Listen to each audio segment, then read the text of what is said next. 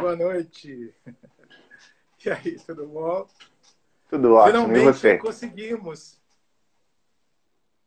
Pois é, estava escrito nas estrelas. Hoje é o grande dia. Eba, conseguimos. Demoramos, hein? Acho que desde a primeira semana da live a gente estava se procurando, mas eu gravando, dando aula, nunca conseguia, mas estamos aqui, conseguimos. Vamos, vamos compensar. Verdade. Verdade. E você sabe que, o, que os, os, seguidores aqui da página, tanto daqui quanto lá do Facebook, estão muito ansiosos por essa live. Eles querem saber muitas coisas de você. E eu sei que você também tem muito para contar. Poxa, tenho, tenho só memórias incríveis, né? Fazem, você vê que coisa louca. A gente está, acho que fazem 23, 24 anos, né? Do Chica. Você 24 para 25. 24 para 25, né?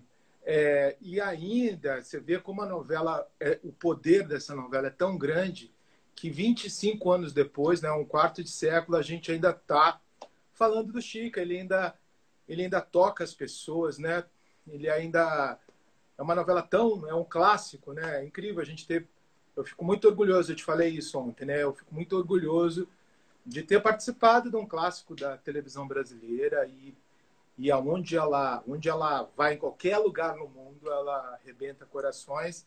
E eu fico muito feliz, né, assim, de um personagem que teria tudo para cair na raiva, no ódio, é tão querido, assim. Eu acho que tudo isso é, o, é a genialidade do Avancini, que sabia escalar muito bem e tinha uma percepção atrás, assim, ele ele não gostava dessas coisas monolíticas, né?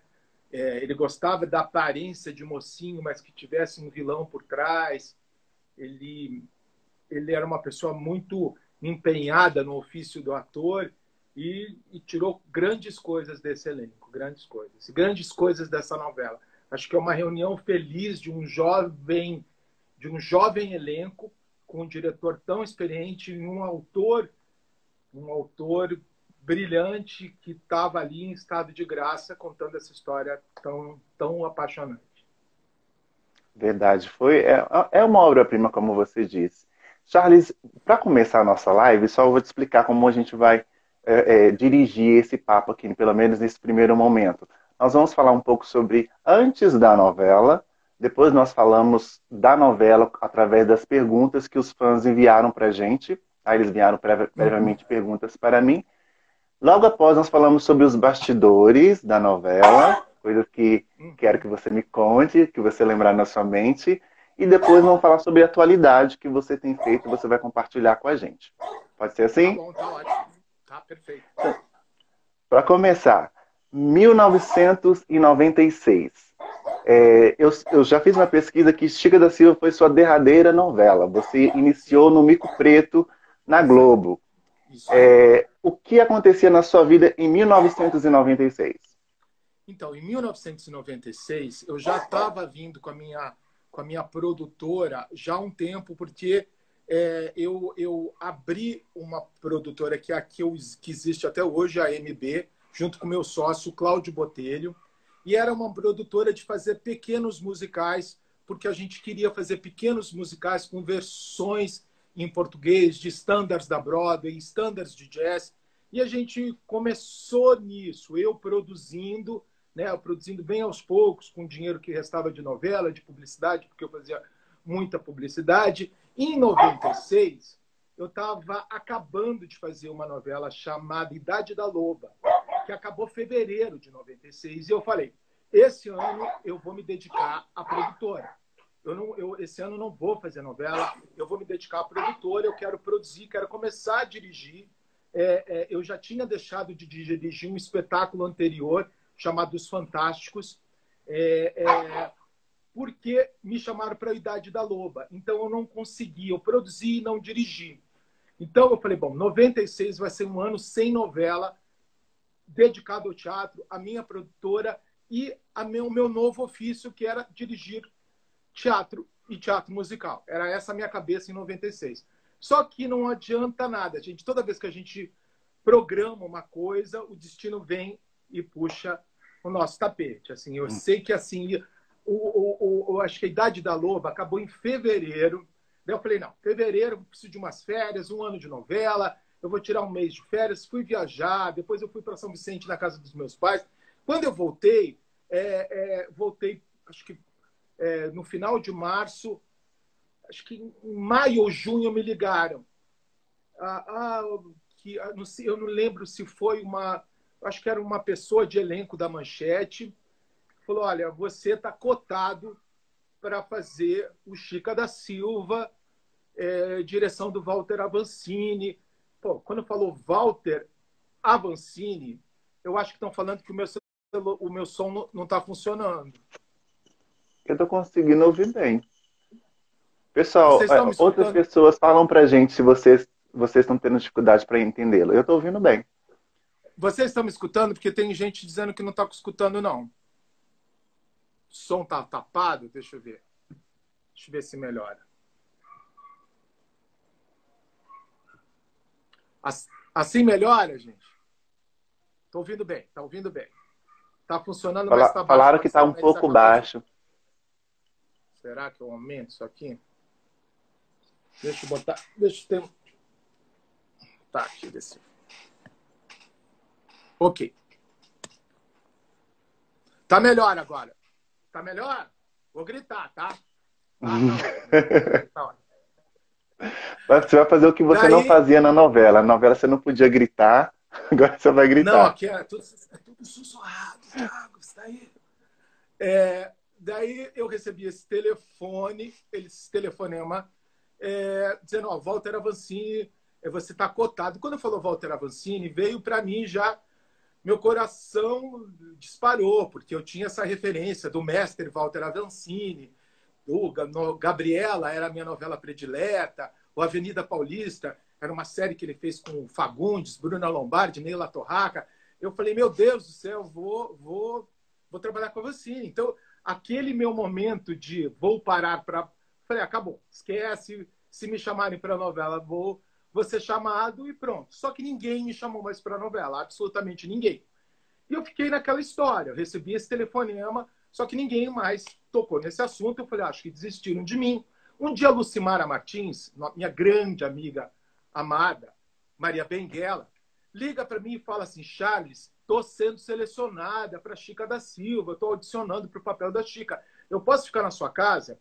A Lucimara, que eu conheço desde jovenzinho de São de Santos, ficou na minha casa. E eu ficava vendo aquele movimento, assim, sabe aquela invejinha, assim, sabe aquela invejinha? Lucimara hum. chegando exausta, aquela bateria de testes. E eu não falando nada. Eu falei, não, vou ficar quieto, porque ela estava tão ansiosa, ela tava, e ela estava na final do Chica da Silva também, ela estava disputando com, com várias garotas, assim.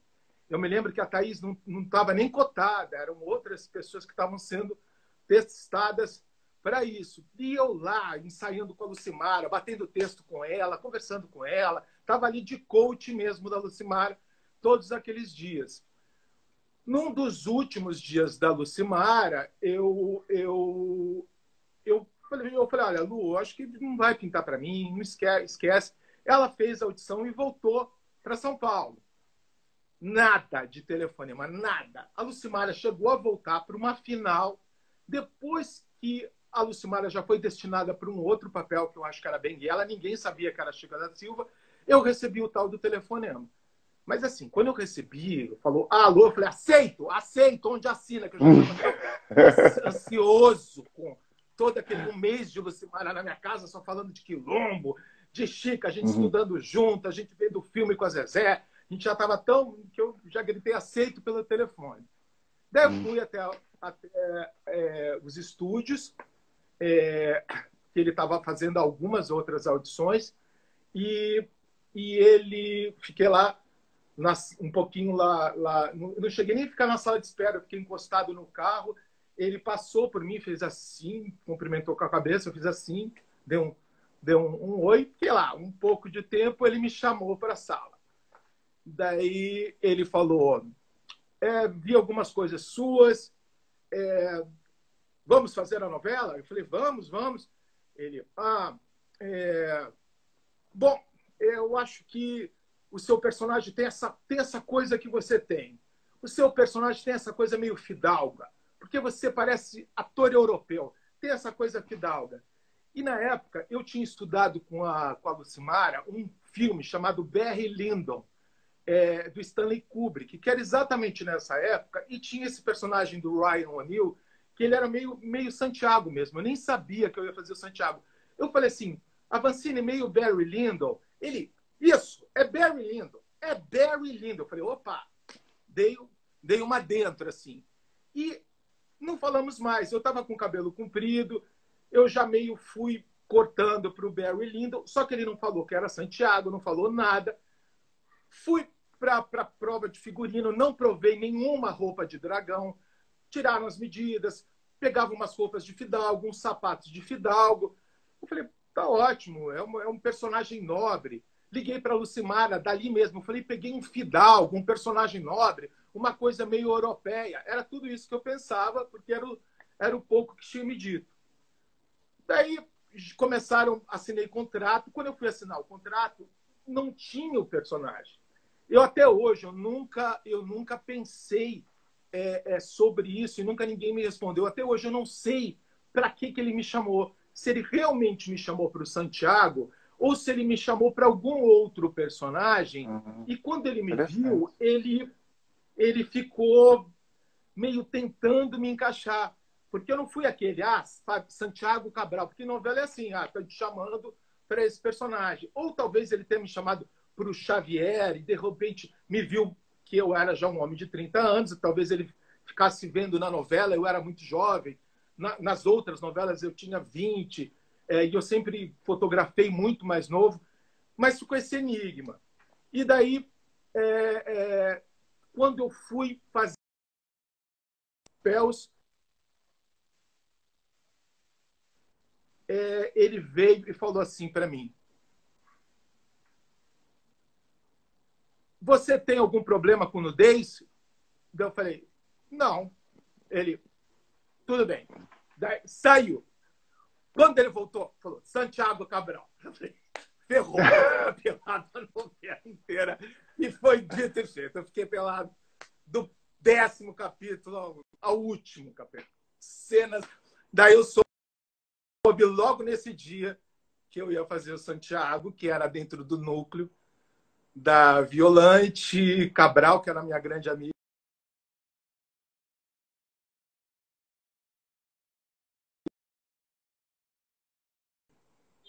Tudo bem aí? Voltou. Voltou. Você ficou pelado desde o início até o fim. Só que a gente não viu tudo isso, não, viu? Nós que, que, que estamos é, não, vendo é... a, a novela toda picada, só vimos pouquíssimas coisas suas. Mas é o seguinte, também tem uma coisa. Ah, não, aconteceu aquele segundo, aquela segunda, aquela segunda coisa. Eu me acidentei de carro bem no começo da novela. Eu fiquei pelado em Diamantina, porque a gente, primeira coisa que a gente fez foi ir para Diamantina, né? O primeiro núcleo da novela viajou para Diamantina é, e começaram as gravações lá. Eu participava muito do núcleo da Caveira Santiago tinha uma, um karma pesado na, na, na, vida, né? Porque eu era um personagem que às vezes ele demorou um pouco para desenvolver, mas ele era o tipo de personagem cilada para qualquer ator, porque você sabe, novela é gravada por cenários, né? E, e, por exemplo, você pode ter 30 cenas dentro de um dia dentro do teu cenário. Isso é difícil, mas você vai de uma vez. O problema do Santiago era o inferno, porque ele era dragão, então, ele estava em todas as cenas dentro da intendência, dentro do uhum. quartel, dentro da cavalariça. Ele era filho do Cabral. Então, ele estava em todo jantar, todo almoço, todo café da manhã uhum. da casa do Cabral. Ele Sim. estava envolvido com a mãe d'água na cachoeira. Então, ele estava em todas as cenas da cachoeira. E toda vez que tinha um escravo fujão, alguém que roubava, contratador que viajava, tinha um bando de gente com peruca preta e aquela uniforme do exército, eu sempre estava atrás, sem fala, fazendo figuração ali. Então eu estava em todos os, todos os cenários. Eu acho que eu só não estava num cenário que era o Quilombo. O resto, eu apanhei de todos os cenários dessa novela.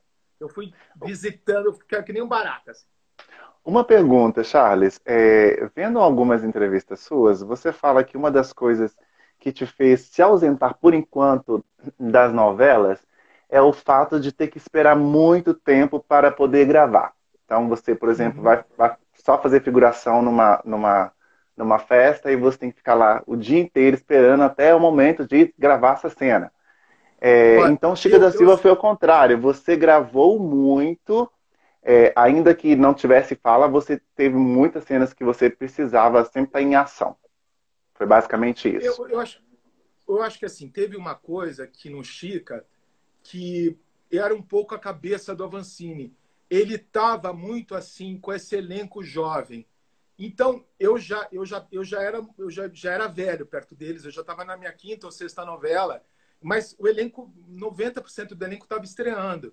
Então, assim, ele queria muito que todo mundo participasse do processo. Então, se, era, se eu era dragão, eu tinha que estar tá ali limpando o cavalo. Me, me, que aquilo ali seria uma construção de personagem. Muita gente é, achava torturante aquilo, assim. Muita gente ficava chateada com aquilo. Eu, sinceramente, eu não ficava chateado com isso. Eu ficava chateado de ficar esperando dentro da casinha em Maricá lá. Porque Maricá é 50 graus. Pensa num lugar quente. Pensou, agora foi mais 10 graus. É o pior lugar. É o lugar mais quente do universo. E a gente com roupa de veludo, é, com, com, coisa enrolada e peruca, aquela peruca 100% sintética, ela, ela vira um forno. A tua cabeça é capaz de fritar um ovo e mais o chapéu de veludo. Era muito, muito quente. Rio de Janeiro, 40 graus. Então me incomodava ficar ali, porque não era assim. A, a, a TV Manchete, nesse momento, era, era assim: não tinha ar-condicionado, assim, tinha, tinha um galpão lá que a gente ficava em Maricá, não tinha sala de elenco assim, as pessoas ficavam meio, meio, era meio um acampamento cigano. Chegava lá e ficava meio no chão, meio sentado. E durante um período da novela, na hora do refeitório, o Avancini ele queria que a gente comesse como os fidalgos. Então, a gente tinha que comer com a mão. Então, na, na refeição, a gente tinha que comer com farofa, pegar a farofa, amassar, fazer o bolinho que a gente aprendeu a fazer e comer com a mão porque... Peraí, na hora da refeição de vocês, mesmo no break dos atores, não tinha garfo nem colher para você? No começo, não. No começo a gente passou, ah. eu acho que o primeiro mês em Maricá comendo com a mão. E, tinha, e a comida era uma comida que seria, na, na verdade, porque o que, que acontecia?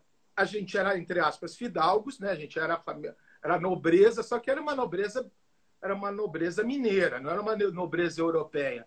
Então, a gente tinha aqueles a imitação da corte, então não tinha talher. E como é que eles comiam? Eles pegavam, faziam um bolinho com a farofa.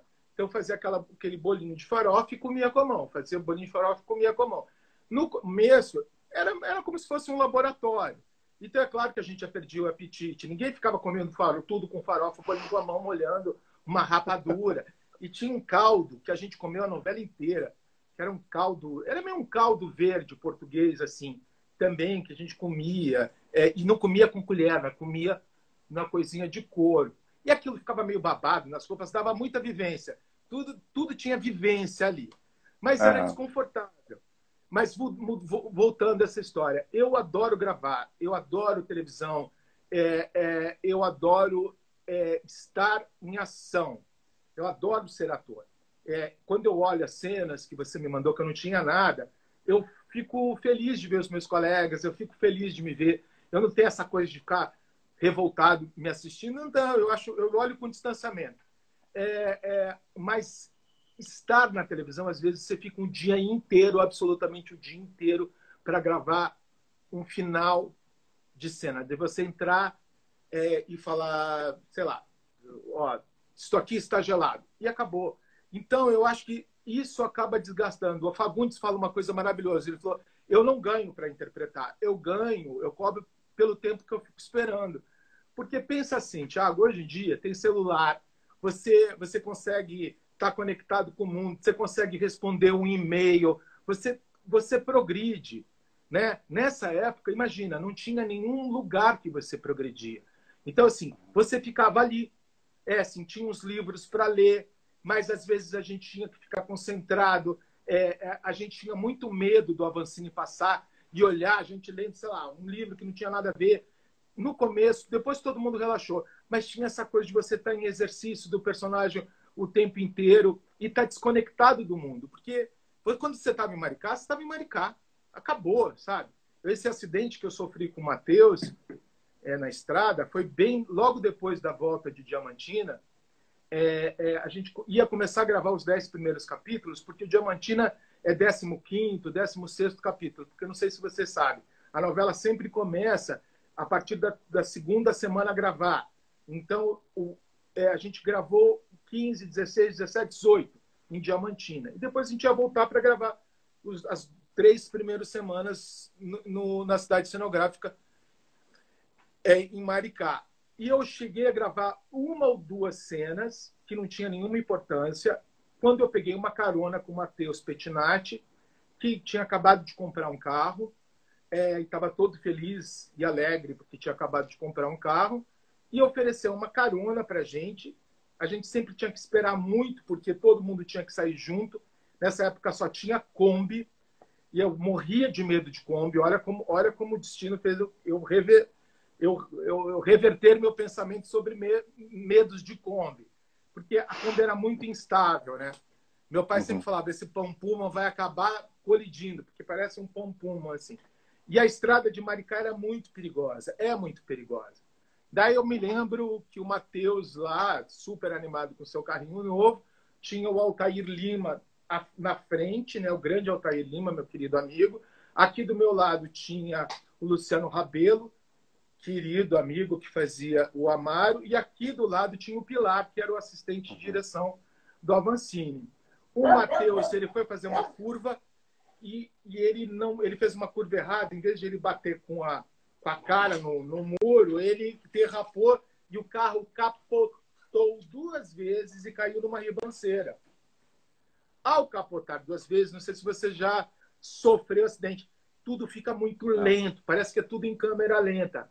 O, o Altair, que era um homem muito pesado, quebrou o banco dele e o banco dele caiu em cima de mim, assim, pluf, com o Altair. Então eu fui esmagado pelo, pelo banco do Altair e pelo Altair. O Luciano foi jogado para fora da janela. É, o Pilar também bateu a cabeça e começou a sangrar. E o Matheus não aconteceu nada, absolutamente nada. O Matheus, como estava na direção, a direção sempre dá uma dá uma coisa. E o Matheus, é aquela coisa juvenil, o carro dele foi, foi ficando assim, clec, clec, clec, clec, amassadinho. Ele chorava e falava assim: meu carro, meu carro, meu carro. Todo mundo meio morto lá, ele só chorava, dizendo assim: meu carro. Falando do carro. É, e, e, eu, e eu falava assim: meu Deus, eu vou. Eu saí do carro querendo socar o Matheus, porque ele só falava meu carro, meu carro, e o Luciano tinha desaparecido pela janela. Assim, assim, assim tipo, eu saí é, olhei, o Altair estava com uma mão, tinha entrado um ferro na mão. Você vê que esse acidente é meio, é, é meio Chica da Silva, né? Tinha entrado um ferro na mão do Altair. Eu fui lá, arranquei o ferro. O Pilar estava meio mal, assim. Eu falei, Pilar, você está bem? O Pilar falou, tô, tô bem. E o Matheus, meu carro, meu carro, meu carro. Eu subi para ir para a avenida, porque isso era uma ribanceira. Eu subindo assim, pim, pim, pim, pim, pim, todo meio estado de choque, eu muito preocupado com o Altair. Porque o Altair estava muito mal e a mão estava doendo muito. Eu cheguei na avenida e fiquei olhando os carros e ficava assim na avenida, assim, tipo, com um bracinho na avenida. Nisso veio o ônibus eu não acreditei, porque era o nosso ônibus do elenco. Aquele ônibus que nunca saía. Esse dia saiu mais cedo, levando as crianças. Daí eu parei o ônibus. Daí quando eu parei, uma das, fi, das mães, é, é, é, é, eu não sei se era a mãe da Ludmilla é, ou a mãe da Ingrid, eu não me lembro. Era uma mãe das, uma das duas meninas é, da Dona Cel. Ela falou para mim, Charles, você tem que deitar. Eu falei, não, querida, eu tô ótimo. Ela falou, Charles, você tem que deitar. Agora. Eu sou médica, você tem que deitar. Eu, não, querida, eu estou preocupado com o Altair. Daí ela falou, por favor, você tem que deitar. E ela olhou, eu vi o, o ponto de vista dela assim. Quando eu olhei, o meu ombro estava na cintura. Meu ombro tinha quebrado em dois lugares, tinha caído até a cintura. Daí eu olhei aquilo, eu falei. Aí, sabe aquela coisa da adrenalina do acidente? Aí eu comecei a sentir todas as dores. Eu não tinha sentido nada até aquela hora. Daí eu deitei na calçada. Calçada não, no asfalto Daí Sim. chamaram o bombeiro. Olha essa história, você vai adorar. Coisas de, de Maricá e lembranças do Chica. E a gente lá, eu vi socorrendo os meninos, eu muito preocupado com o Luciano. É, é, daí eu vi que o Luciano estava. Charles, só um momentinho. Estrada, é... Tá dando uma travada? Só um momento. Tá travando Voltou? um pouquinho. Voltou. É, o, o Luciano estava cortado, então eu não sabia se ele estava com muitos cortes, se era corte profundo ou se era cortezinho. Mas era tudo cortezinho por causa da, do estilhaço.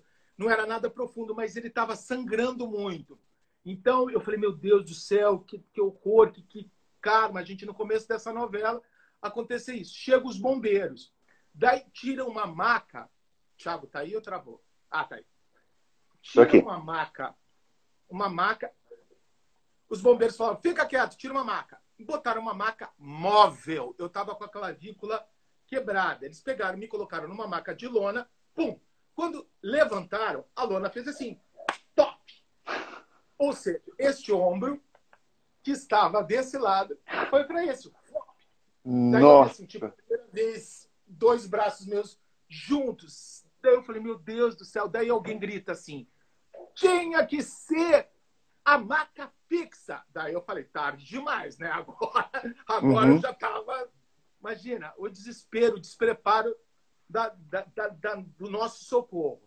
Fui com a ambulância para o hospital e lá no hospital a gente encontrou todo mundo. Daí eu entendi o que tinha acontecido. O Luciano teve que fazer raspagem, o Altair deu ponto, o Pilar estava bem e eu me quebrei. E eu me quebrei feio. Eu quebrei a clavícula em dois lugares. Eu tive uma aqui eu, eu tive uma, uma, uma luxação no outro ombro, tive um problema no joelho. Então, o começo da novela para mim foi muito difícil, porque eu fiquei internado. Os meninos saíram nesse mesmo dia, eles já começaram, eles já voltaram ao trabalho. Eu fiquei uma semana internado. Quando eu fiquei uma semana internado, cortaram o Santiago de 10 capítulos. Se você reparar, você que é expert dessa novela, você vai ver que não existe, ninguém fala sobre o Santiago. Ele está é, dentro da sala do Capitão Mor, não tem o Santiago, tem todos os filhos e não tem o Santiago. Não tem o Santiago na entendesse. O Santiago um dia aparece no quarto do Xavier. Assim, primeira Sim. aparição de Santiago, assim, oi, capítulo acho que 15, no, no, no, Xavier. E se você reparar, aquele, aquele, aquele capítulo, que eu acho que é o 17, que o Santiago está deitado na cama, eu tô todo amarrado na cama. Eu, você vê que eu, eu só mexo o pescoço. Vocês estão falando sobre perder a virgindade. Isso, exatamente. Eu falo das meninas. E o que, que acontece? Nesse capítulo, eu estava já com colete de tração e, na época, a Adriane Galisteu ela me ajudou muito, porque ela conhecia um ortopedista que tinha cuidado do Senna e ela falou, Charles, vai para esse ortopedista porque ele cuidou do Ayrton e, e, e ele é um cara que sabe tudo de, de, de, de quebrar, etc. Então, nisso, a Adriana ela foi muito maravilhosa comigo, porque eu fui direto para o ortopedista do Senna, do Ayrton Senna, que falou para mim: não se opera, usa colete de tração e cria esse calo ósseo, porque se você se operar, isso vai ser uma coisa eterna na sua vida. Em compensação, se você conseguir é, é, resistir ao colete de tração vai ser muito melhor. Eu falei, vou botar o colete de tração, que era um colete em oito, que me amarrava inteiro, mas quando eu levantava, estava é, todos os ossos quebrados mexendo. Então eu tinha dores horríveis. Daí o que, que eu tinha que fazer? Eu tinha que tomar morfina. E o que, que a, a morfina faz? Ela te dá uma leseira. Então eu ficava meio grogue com a morfina e é, morfina ela empedra as fezes. Então, era desesperador, porque além de grog, eu ficava com uma barriga de, pé, de fezes estufada. Daí eu falei, gente, não dá, não tem Ai, condição, tá tudo errado, eu não vou tomar, tomar mais morfina, eu vou encarar essa, eu vou ficar com dor.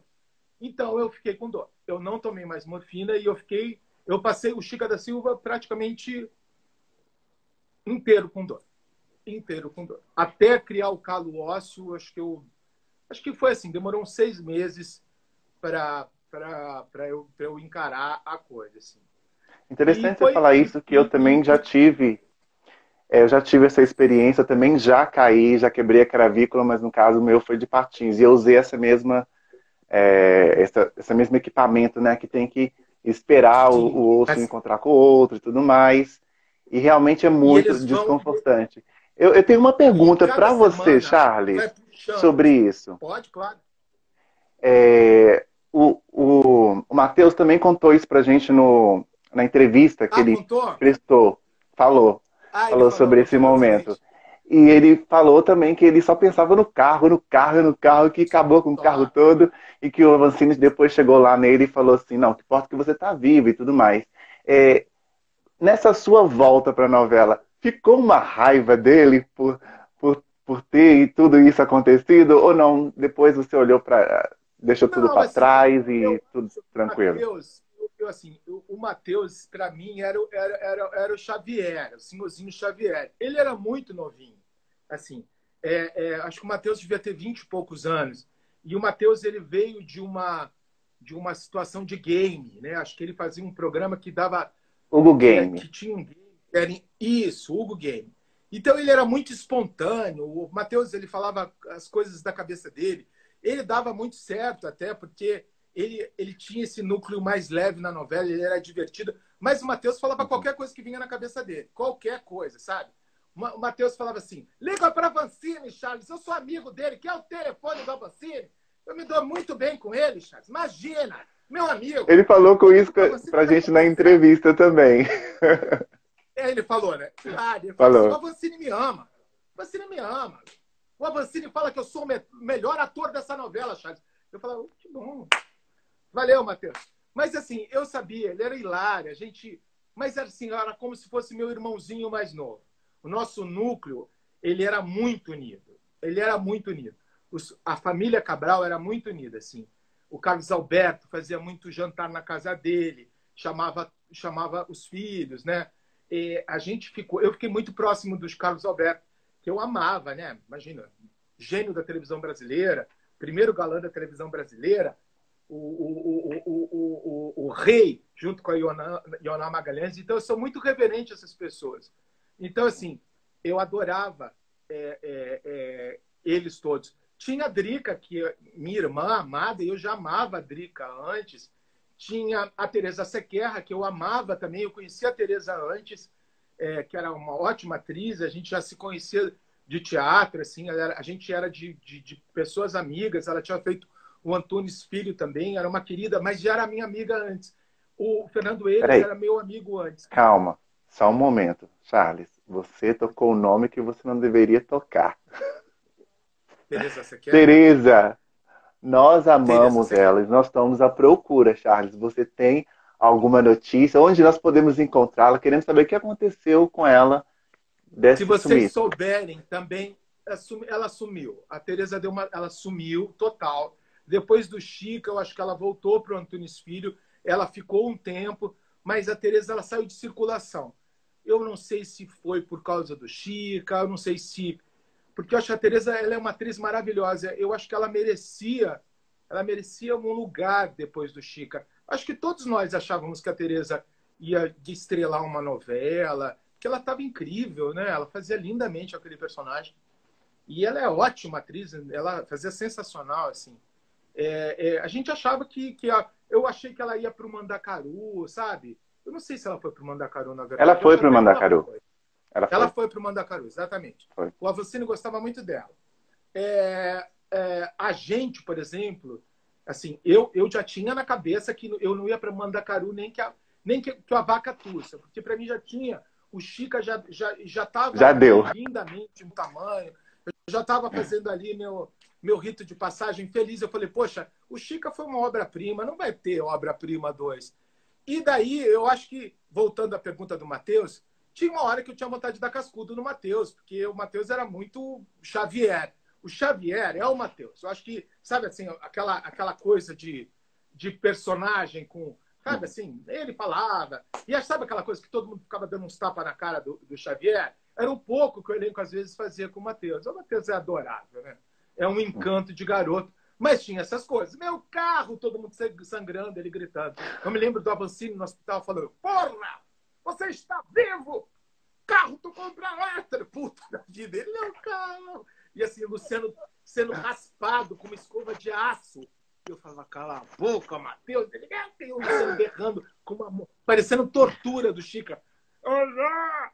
Ele, meu carro era novo. Uma loucura. Uma loucura. Mas, assim, é, era, era um núcleo que a gente adorava, sabe? Assim, era um núcleo que a gente adorava. E, de qualquer jeito, eu acho que dentro desse núcleo, é, é, o, o, Santiago ele foi um personagem que ele, ele tinha ele tinha ele talvez tenha sido teve mais arco de todos né? O Santiago começou uma coisa quase ali beirando com Xavier mas tinha essa coisa com, com, com, com o, o, o pai. E, e teve um dado curioso nessa história toda que nessa história, assim, logo depois do acidente, quando eu voltei, as minhas falas todas foram distribuídas para o Macário, para o pro, pro Luciano, para o pro, pro, pro Matheus. Todas. E eu acho que eu fui tirado de muitas sequências. E cenas minhas que não davam para ser distribuídas cortavam, cortavam o personagem integral. Então, é, eu voltei a aparecer. E daí o que, que aconteceu? Essa brincadeira, essa brincadeira é, sobre a fidalguia, tudo eu pensei, ah, Barry Lyndon, cortamos o cabelo para ficar igual do Ryan O'Neill. Eu estava com o cabelo super comprido, daí cortei o cabelo uma franja curta, assim, é igualzinha, e deixei o cabelo comprido atrás para fazer o tal do, do rabo de cavalo do, do, do, do Fidalgo. Daí, assim, eu me preparando, fazendo aula de, de fidalguia, como, como cumprimentar a senhorinha, botando, esticando a perna direita para frente, sem dobrar o joelho, para fidalguinha. E assim, tudo me preparando. E o, e o Avancini falava para mim, Charles, ele dava frases para pessoas, né? Ele dava estímulos. É isso que eu ia te perguntar chamava... sobre o DNA, né? É, o famoso DNA. O, DNA. O, o famoso DNA. O meu DNA mudou umas cinco vezes nessa novela. Mas assim, ele falava assim para mim: Eu sou fidalgo eu sou senhorzinho, senhorzinho, senhorzinho. Era para eu ficar com essa coisa dessa petulância, sabe? Essa petulância. Você vê que o Santiago no começo ele é meio petulante. No começo não, ele é petulante a novela inteira. Depois ele fica mega petulante. Mas ele tinha essa coisa assim. Ele falou, mas não pode ser nojentinho, não. Não é nojentinho. Tem uma nobreza, tem ali um lugar, tem uma nobreza. E eu fiquei com aquela fidalgo, nobreza. Eu sou muito estudioso, então para mim era tudo uma questão de nobreza. Eu pensava assim, desde a coluna andando a cavalo até todos, todos os meus modos, eles eram meio contidos, era o jeito de eu me sentar, o jeito de eu raciocinar, era tudo assim, era senhorzinho sim, senhorzinho sim, senhorzinho sim. Prova de roupa, me colocam a peruca do dragão, 100% canecalon aqui, ó. Fazendo uma testa de Playmobil aqui, ó. Sim, eu lembro. 100% canecalon aqui, ó e ela encaixava, porque a minha cabeça é muito grande, não tinha peruca que servia. Então ela colocava aqui e ela ia ficando, e ela ia despenteando, porque ela era 100% canecalon, e ela ia ficando, pode ver, tem capítulos que a gente se mexe e a peruca fica, e ela fica assim, ó. A peruca vai ficando assim, ó. Isso era 100% fidalguice. O rolinho ia subindo, o chapéu não encaixava, a, a bota era 100% napa, e o salto era interno e machucava a gente. E olha, e a gente suava, suava, suava. E eu tava. Eu falei, cadê meu 100% fidalguinho? Que cadê meu senhorzinho? E todas as pessoas tinham essa roupa e essa peruca. Daí eu falava assim, como é que eu vou estar no meio de, de 300 dragões sendo senhorzinho sim, senhorzinho sim? Eu falei, meu Deus, e eu tinha preparado o meu Barry Lindo, eu cortei o cabelo igual ao do Barry Lindo, para ficar igual. E eu falava assim, tudo senhorzinho sim. E eu falava, Vancini, Barry Lindo, né? Ele, Barry Lindo, Barry Lindo puro, Ryan O'Neill, Barry Lindo. E eu, falei, eu falava, gente, cadê esse personagem? Daí eu chegava e eu estava gravando, depois de 15 dias, estava todo mundo inteirado. Eu chegava com aquela roupa, e aquela roupa era tão horrível. E é o seguinte, o salto, eu tenho pé chato, e o meu pé 43, então não tinha bota para mim. Então eles pegavam umas botas em algum lugar e assim, abriam um pouco a bota e me encaixava. Só que não entrava. Então eles davam uma esmagadinha no meu pé. O menino do figurino falava assim: pelo amor de Deus, Charles, veste aí, não me dá problema, você mandado embora. Eu, não, não, tudo bem. Jogava talco na bota e enterrava aquela bota, esmagava. E no Tijuco, a cidade cenográfica, eram os pedregulhos. Você pode escutar, dar um barulho, porque a gente faz assim, tá, tá, tá, tá, tá, tá. E eu todo quebrado. Eu com as duas clavículas quebradas, assim, ah, ah, ah, ah, com aquela bota, aquela peruca. Aquele... Aquilo foi um inferno no começo. Eu falava para o Luciano, eu falei, Luciano, como é que alguém vai conseguir gostar da gente? Eu falei, Luciano, se agarra nisso. Eu já fiz cinco novelas, agora você está estreando. Sua carreira acabou aqui, porque você está horroroso. A gente ficava muito feio. Mas era muito feio. Não era pouco feio, não. Era muito feio.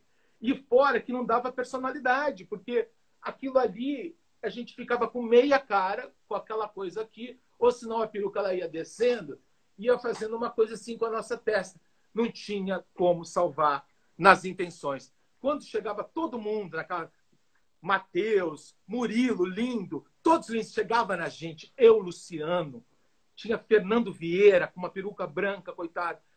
O do SEC, a gente ficava arrasado com aquilo. A gente só pensa, eu só pensava que eu tinha que ser mandado embora. Eu falei, não, eu vou aprontar para ser mandado embora desse lugar. Eu queria muito sair do cartel. Muito. Era uma coisa horrorosa. Então, assim, aí eu tive uma crise. Foi a minha primeira crise na novela. Porque eu falei, poxa, não era Fidalgo, gente. Era senhorzinho, sim. Senhorzinho, sim. Eu falei, vou falar com a Vancini. E, assim, é muito engraçado, porque as pessoas... Eu também tinha um pouco de medo, mas não tinha esse medo que todo mundo tinha. Porque eu achava que estava... Ok, me contrataram, ele gosta de mim. É, eu não, eu tô fazendo o meu, quero conversar com ele. Eu falei, assim, então, sabe aquele, aquela coisa do Barry Lyndon? Eu acho que com essa roupa do dragão, ela, ela não acontece. O Barry Lyndon não acontece nessa roupa do dragão. É, assim, eu vejo, está desumanizando. É, eu falei, meu Deus do céu, é, será que eu estou falando alguma coisa errada? Porque ele ficou olhando assim para mim tum, tum, tum, tum, tum. Sabe aqueles segundos que você escuta o tubarão assim, tom, tom, tom, tom, tom, tom, tom. Falei, gente, será que eu falei demais? Ele falou assim, entendido, entendido. Eu saí, cheguei no refeitório falei, ah, gente, eu falei com a Vancini que eu não estou gostando da roupa. Todos falaram assim, você o quê? Você falou com a Vancini que não gostando. Você vai morrer. Semana que vem você vai morrer. Falei, Sim, boa técnica Semana dele, né? Vai se despedir. Todo mundo falava. Passava por mim e falava assim: Meu Deus, por que, que você fez isso? Todo mundo falava: Acabou, teu personagem semana que vem vai te acordar morto boiando. Porque era isso. Acontecia uhum. isso. Ele não gostava de alguém, ele mandava matar. Alguém falava uma coisa e mandava matar. Era uma coisa tipo assim: a próxima vítima. A gente brincava, que era meio resta um. Calma. Calma, Charles, que agora eu tenho uma pergunta sobre isso. No caso, o Luciano Rabelo, o final dele esquartejado também foi por isso? Alguma desavença com, com a Vancini? Ou não, a Vancini não estava agradando do personagem? É, eu acho que assim, o que foi muito triste para todos nós, mas era um pouco o espírito da novela era esse. Eu acho que eles todos eram, nós todos éramos muito jovens. Eu acho que a novela ela tinha um perfil, mas assim a gente tinha, por exemplo, o Santiago tinha essa coisa dele ser bonitão, dele ser galanteador, dele ter ser senhorzinho e que ele ia se envolver com Elvira. Era três linhas. Eu passei, assim, 50 capítulos paquerando a Giovanna e não tinha nenhuma, nenhuma linha sobre a gente. E eu falava assim, meu Deus do céu, será que desistiram da minha trama? Porque a gente não sabia de nada. Isso daí era muito engraçado. É, eu, Macaia, é, é as pessoas que, que ficavam juntos, a gente ficava chorando de rir. Porque a novela era muito tensa. Eu sempre fui essa pessoa que eu, que eu sou hoje, né? Então, todo mundo, assim, eu nunca me levei muito a sério. E eu pegava, juntava, assim, a gente se juntava naquela sala de elenco e passava o dia inteiro chorando, de rir, pensando quem é o próximo, quem é que vai ser o próximo. E eu, eu, eu não via as minhas tramas acontecerem e eu não via as tramas das outras pessoas. A gente sabia que o Luciano, em alguma hora, ia se envolver com a Galisteu. Mas tinha uma coisa assim, é, é, foi dito para a gente que a Galisteu seria um pouco Terezinha, sabe? É, o primeiro me chegou, o segundo me chegou, o terceiro me chegou. Sabe, a, a Terezinha com seus três pares é, é, da, da de Não era Dona Flor? Ah, não, é porque a Terezinha não conhece, né? Jesus. É o primeiro que chegou, o segundo que chegou e o terceiro que deu ah, tá. Então, Esse é novo pra mim, não sabia. É, é, tem até uma música do Chico Buarque, da Ópera do Malandro, que ele, que ele é a Tereza e os Três Cavaleiros. Ah, tá, né? tá, lembrei, lembrei, lembrei. O terceiro lembrei foi agora. aquele que a Tereza deu a mão. Então, assim, eu, o Luciano seria o primeiro cavaleiro, que era o primeiro que deu tudo para ela, que estava apaixonado por ela. O segundo cavaleiro seria o Macário, que foi o que estuprou ela. E o terceiro cavaleiro seria o Santiago, que, a, que ela, Clara, se apaixonaria. Mas que o Santiago, para não trair o, o, o Luciano, iria numa noite na taverna, teria uma coisa com, com a Adriane, é, acho que eles iam para a cama, alguma coisa assim, certamente iam, porque todo mundo ia para a cama nessa novela. É, é, Você chegou a gravar e, com elas essa cena? Não, não cheguei. Isso estava meio assim, tinha uma coisa na sinopse, e eu, eu ia me afogar as mágoas na taverna, e aí eu ia descobrir a taverna com as prostitutas, a Benguela, e ali certamente seria o começo da minha história com a Elvira. Só que acontece o seguinte, a história da Adriane e o Avancini, acho que de cara não deu certo, não deu, acho que como o Avancini queria. Acho que também a Adriane, tadinha, é, foi muito, muito triste tudo. Ela tinha que ficar nua é, o tempo inteiro em condições de, climáticas horríveis, assim. Diamantina, eu tive hipotermia. Você imagina eu, que sou germânico, que adoro água fria, eu fiquei numa água ali, a gente gravou três sequências de água. A terceira eu tive hipotermia, que tiveram que me tirar de lá e tomar injeção de glicose. Imagine a Adriane, que ficou acho que um mês e meio pelada numa cachoeira, dentro da água, sabe? Ela falou sobre então, isso, ali uma nota dela, que em Xerém ela chegou a ver cobras d'água e que ela também ficou doente. Direto. Ela direto. ficou doente também um tempo porque. Pois é. Tem uma cena que você, é, até postei aqui que você e o Xavier estão nadando e roubam a, as roupas de vocês. É, aquela água ali é muito suja, vocês estavam de boa, assim, pelado. Como é que. Você lembra desse dia? Não, assim, é na verdade, por exemplo, assim, essas, porque a, a, as cachoeiras originais, elas eram, elas eram diamantina. Aquelas Sim. cachoeiras eram muito difíceis de gravar, porque elas eram diamantina, e lá a, a água era tipo Polo Norte, era menos 25. Você, você mergulhava e já começava a bater queixo. Uhum. É, tem uma cena específica que depois eu até mostro para você, que é uma cena que eu falo com o Xavier, que eu já estou congelando. A boca está completamente roxa e eu vou falando assim, Xavier, você... Eu já estou totalmente congelado. E eu lembro que a luz estava caindo e o Avancini falava assim, não para, não para, não para. E eu assim, morrendo e os meninos morrendo, mas o Xavier nem tanto, porque ele tinha acabado de entrar na água. É... Mas, quando a gente foi para Xerém, era dentro do sítio é, do... do Zeca Pagodinho. Zeca Pagodinho. E aquela água é barrenta, é uma água barrenta. Porque a água de Diamantina era uma água de pedra. Então era uma água mais clara, mas a água do, do Xerém era barro, era caldo de cana. Uhum. Se você abrisse o olho, entrava terra dentro do seu olho. E não tinha história, você tinha que tirar a roupa. Esse dia dessa cena, eu e o Matheus, acho que a gente ficou pelado 12 horas. 12 horas. Porque a gente tinha toda a sequência que foi feita pela manhã. A ah, gente tinha é uma coisa de roubar, roubar uma bananeira, que eu acho, não sei nem se foi cortada, mas a gente ficava, é, pulava é, uma casa no Tijuco, roubava é, folha de bananeira, se enrolava e a gente passava pelo Quilombo, passava pela Casa da Chica, passava até chegar à noite na cidade cenográfica, à noite na nossa casa. Então eu lembro que a gente ficou, sei lá, 15 horas pela. Era uma loucura. Ele, é, não tinha, não tinha, vocês utilizaram tapa-sexo ou não? Era do, do não, jeito que veio ao mundo? Manchete, manchete raiz. Não tem negócio de tapa-sexo, não. Manchete raiz. Não, porque lá, o Guilherme Piva, o, o, o, o, José Maria falou que ele usava tapa-sexo nas cenas dele. Quem? O Guilherme Piva. Ah, o Guilherme usava. O Guilherme conseguiu usar. Mas o Guilherme, eu acho que tinha um outro lugar. Eu acho que o Avancini tratava o Zé Maria é, com delicadeza. O Avancini ele tinha essa coisa assim. Eles construíram o Zé Maria como se fosse uma boneca dessas de louça antigo, sabe? Ele e falou. o Guilherme, ele tinha uma coisa assim. Como teve um problema grave, que você deve saber, porque o ator que fazia o Zé Mulher não era o Guilherme, né? Marco Polo. Ele foi Marco Polo, exatamente. Querido Marco Polo, que a gente começou a novela com Marco Polo. É, o Marco Polo tinha gravado muita coisa. E daí um dia, como eu, a Chica era tão. Ó, Chica é a novela mais louca que você teve na, na sua vida. Assim, Chica era tão louco que a gente chegava. Um dia, eu, eu gravei com Marco Polo uma cena. Assim, a gente gravou e eu falava. Uma, o, o, o, Santiago era meio desagradável com, com, com, com Zé Maria. E eu cheguei, é, e era uma cena na taverna, que eu chegava e falava assim: Ih, olha ele aí, o que, que você veio fazer aqui na, na, na taverna? E ele falava assim: eu não sei o quê. E essa cena acabava. E tinha uma sequência na taverna. Daí no dia seguinte, o primeiro cenário de manhã era a taverna.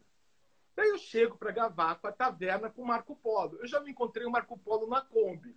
Eu falei, Marco Polo se atrasou. É, é, ele, o Marco Polo era ótimo, era um ator maravilhoso. Ótimo, ele estava super bem. O Piva é extraordinário, né? Meu amigo querido, amo o Piva. Daí eu cheguei lá, falei, gente, daí todo mundo falou, qual é a sequência sua? Eu falei, ah, a minha sequência é a sequência do Zé Maria na taverna que a gente vai gravar pela manhã. Cinco horas da manhã, a gente na manchete, esperando a Kombi. Chego, nada do Marco Polo, nada de ninguém da taverna, nada do Altair Lima. Eu entro na Kombi e vou lá pro estúdio. Chego no estúdio e falo, ah, Charles, pode ficar tranquilo que a taverna hoje é lá pro final do dia. Eu falei, ah, não acredito. Mas sempre tinha uma cena para fazer, acabei me ocupando. Ninguém falou nessa cena, ninguém falou em Marco Polo, ninguém falou nada. E daí eu falei, gente, e a minha cena? Pendurou a minha cena? Cadê o Marco Polo? Cadê? No dia seguinte, eu encontro o Piva nos corredores. Eu falei, querido, o que você está fazendo aqui? Daí ele falou, ah, o Piva muito discreto, muito educado, um gentleman. Ah, vou conversar com. Eu falei, tomara que você entre na novela. Eu achei que era um personagem que ia entrar. Daí depois, esse dia mesmo, a gente ficou sabendo que o, que o Avancini tinha dispensado o Marco Polo. E o Piva, eu acho que ele entrou, ele pintou o cabelo de vermelho e, e gravou 15 capítulos, acho que em pouquíssimo tempo. Ele deve ter te falado, né? Falou. Ele, fez ele teve um dia para se preparar de... e já iniciou a, a, as gravações. Teve que regravar e tudo. A coisa mais eu... louca. Desculpa, pode falar. assim, coisa... Nesse momento da vida, eu eu eu, dá, eu, eu, eu, eu hospedei minha querida amiga é, é, é, Lucimara Martins. Então eu morava, né, com Benguela. Então, nós morávamos juntos, eu e Benguela. E a, ela sempre falava que é quem era Chica, quem era Chica, quem era Chica. Eu falei, ah, que legal, a gente foi lá, ah, fomos para o estúdio da Manchete, porque era o lançamento, o Avancini ia apresentar todos os personagens. Daí a gente sentou lá e falou assim: ah, ele apresentou este aqui é Violante, este aqui é Santiago, este aqui é Matheus, e agora com vocês, Chica da Silva. Subiu um lugar, era Thaís. A gente não sabia que era Thaís até o dia da apresentação. Foi a coisa mais louca. A gente estava na novela. Você não chegou a conhecer a, a, a Luísa, a Luísa que fez. Que, a Luzia, desculpa, a Luzia que passou no, no teste, vocês não a chegaram a conhecê-la. A, a, a Lucimara, sim, eu não. Eu não cheguei, uhum. mas todo mundo só. A gente só soube que não era a Luzia é, nesse dia, exatamente nesse dia.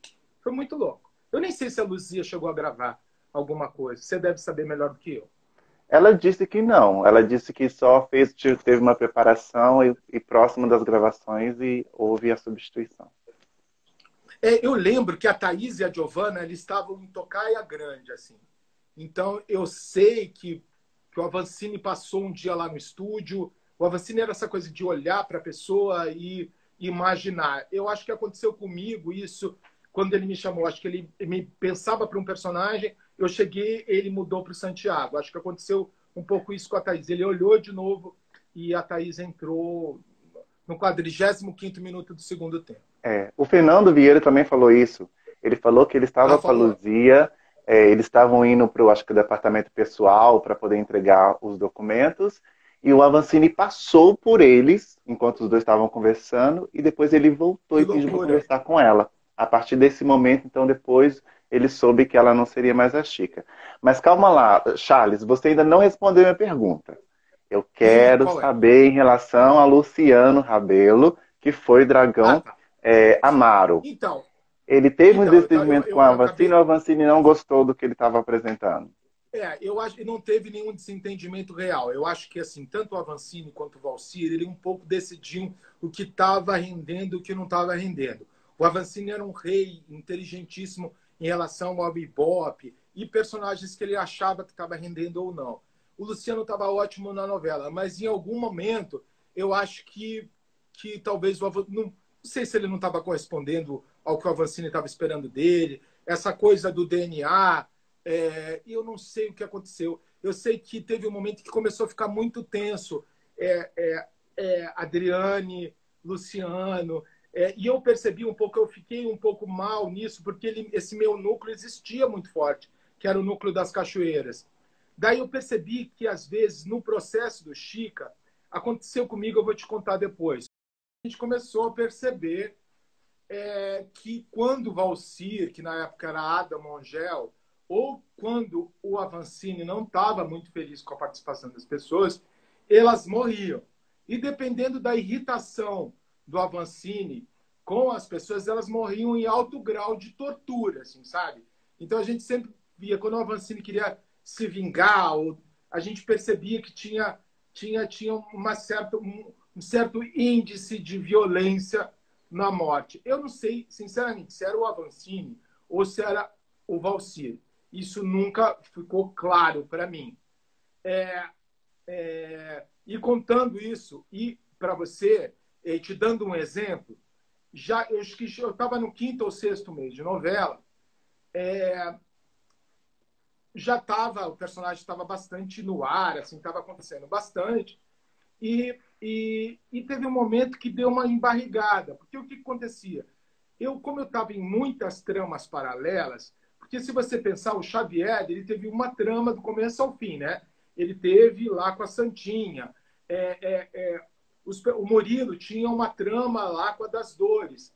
É, a, o meu personagem, ele, ele tinha muitas tramas, né? Tramas pequenas, mas muitas tramas. Ele estava em várias tramas paralelas. Ele estava na cachoeira com, com, com a Clara, ele estava ele tava numa confusão é, com a Violante, ele estava numa coisa com a Elvira, ele se mete com as portuguesas, tem uma hora que ele, ele fica pretendente da mão de uma das meninas. Tinha muita, muita coisa. Teve um momento que deu uma, uma respirada. Nessa respirada, eu fiz uma novela na manchete chamada Ana Raio Zé Trovão, que foi passar na Itália. E fez um sucesso louco na Itália. E o meu personagem fez um sucesso louco na Itália. E teve uma caravana de atores que foram para a Itália. E daí o que acontece? Cham... Falaram, você não quer ir, Charles? E tinha assim, era, era, olha, era uma grana. Era uma grana porque era assim, era, além de divulgar a novela lá, tinha um monte de coisas agendadas para a gente fazer. Lançamento de um carro, era em Milão e Roma. Era uma semana. Daí eu conversei com o Matheus, o Matheus falou, claro, liga para a Vancini, sabe aquelas coisas? Daí eu falei com, com, com, com o Fernando Eiras, Fernando Elas falou: Olha, Charles, vai com teu coração. O Fernando, melhor pessoa do mundo, vai com teu coração. Eu falei com a Drica, a Drica, ah, não sei. Eu falei: Cara, eu vou falar, eu vou falar. Ingenuidade absurda, assim. Eu falei: Avancini, tudo bem, eu posso falar uma coisa com você? Eu não enchia nunca o saco. Ele, claro, claro, entra aqui. E ele sempre me tratou super bem. Não posso falar nada, assim. Se eu, tô, se eu falar alguma coisa, eu vou ser injusto. Eu sempre eu sei que teve muita gente que, que é magoada, que ficou chateada, é, que, mas comigo não, comigo pessoalmente nunca.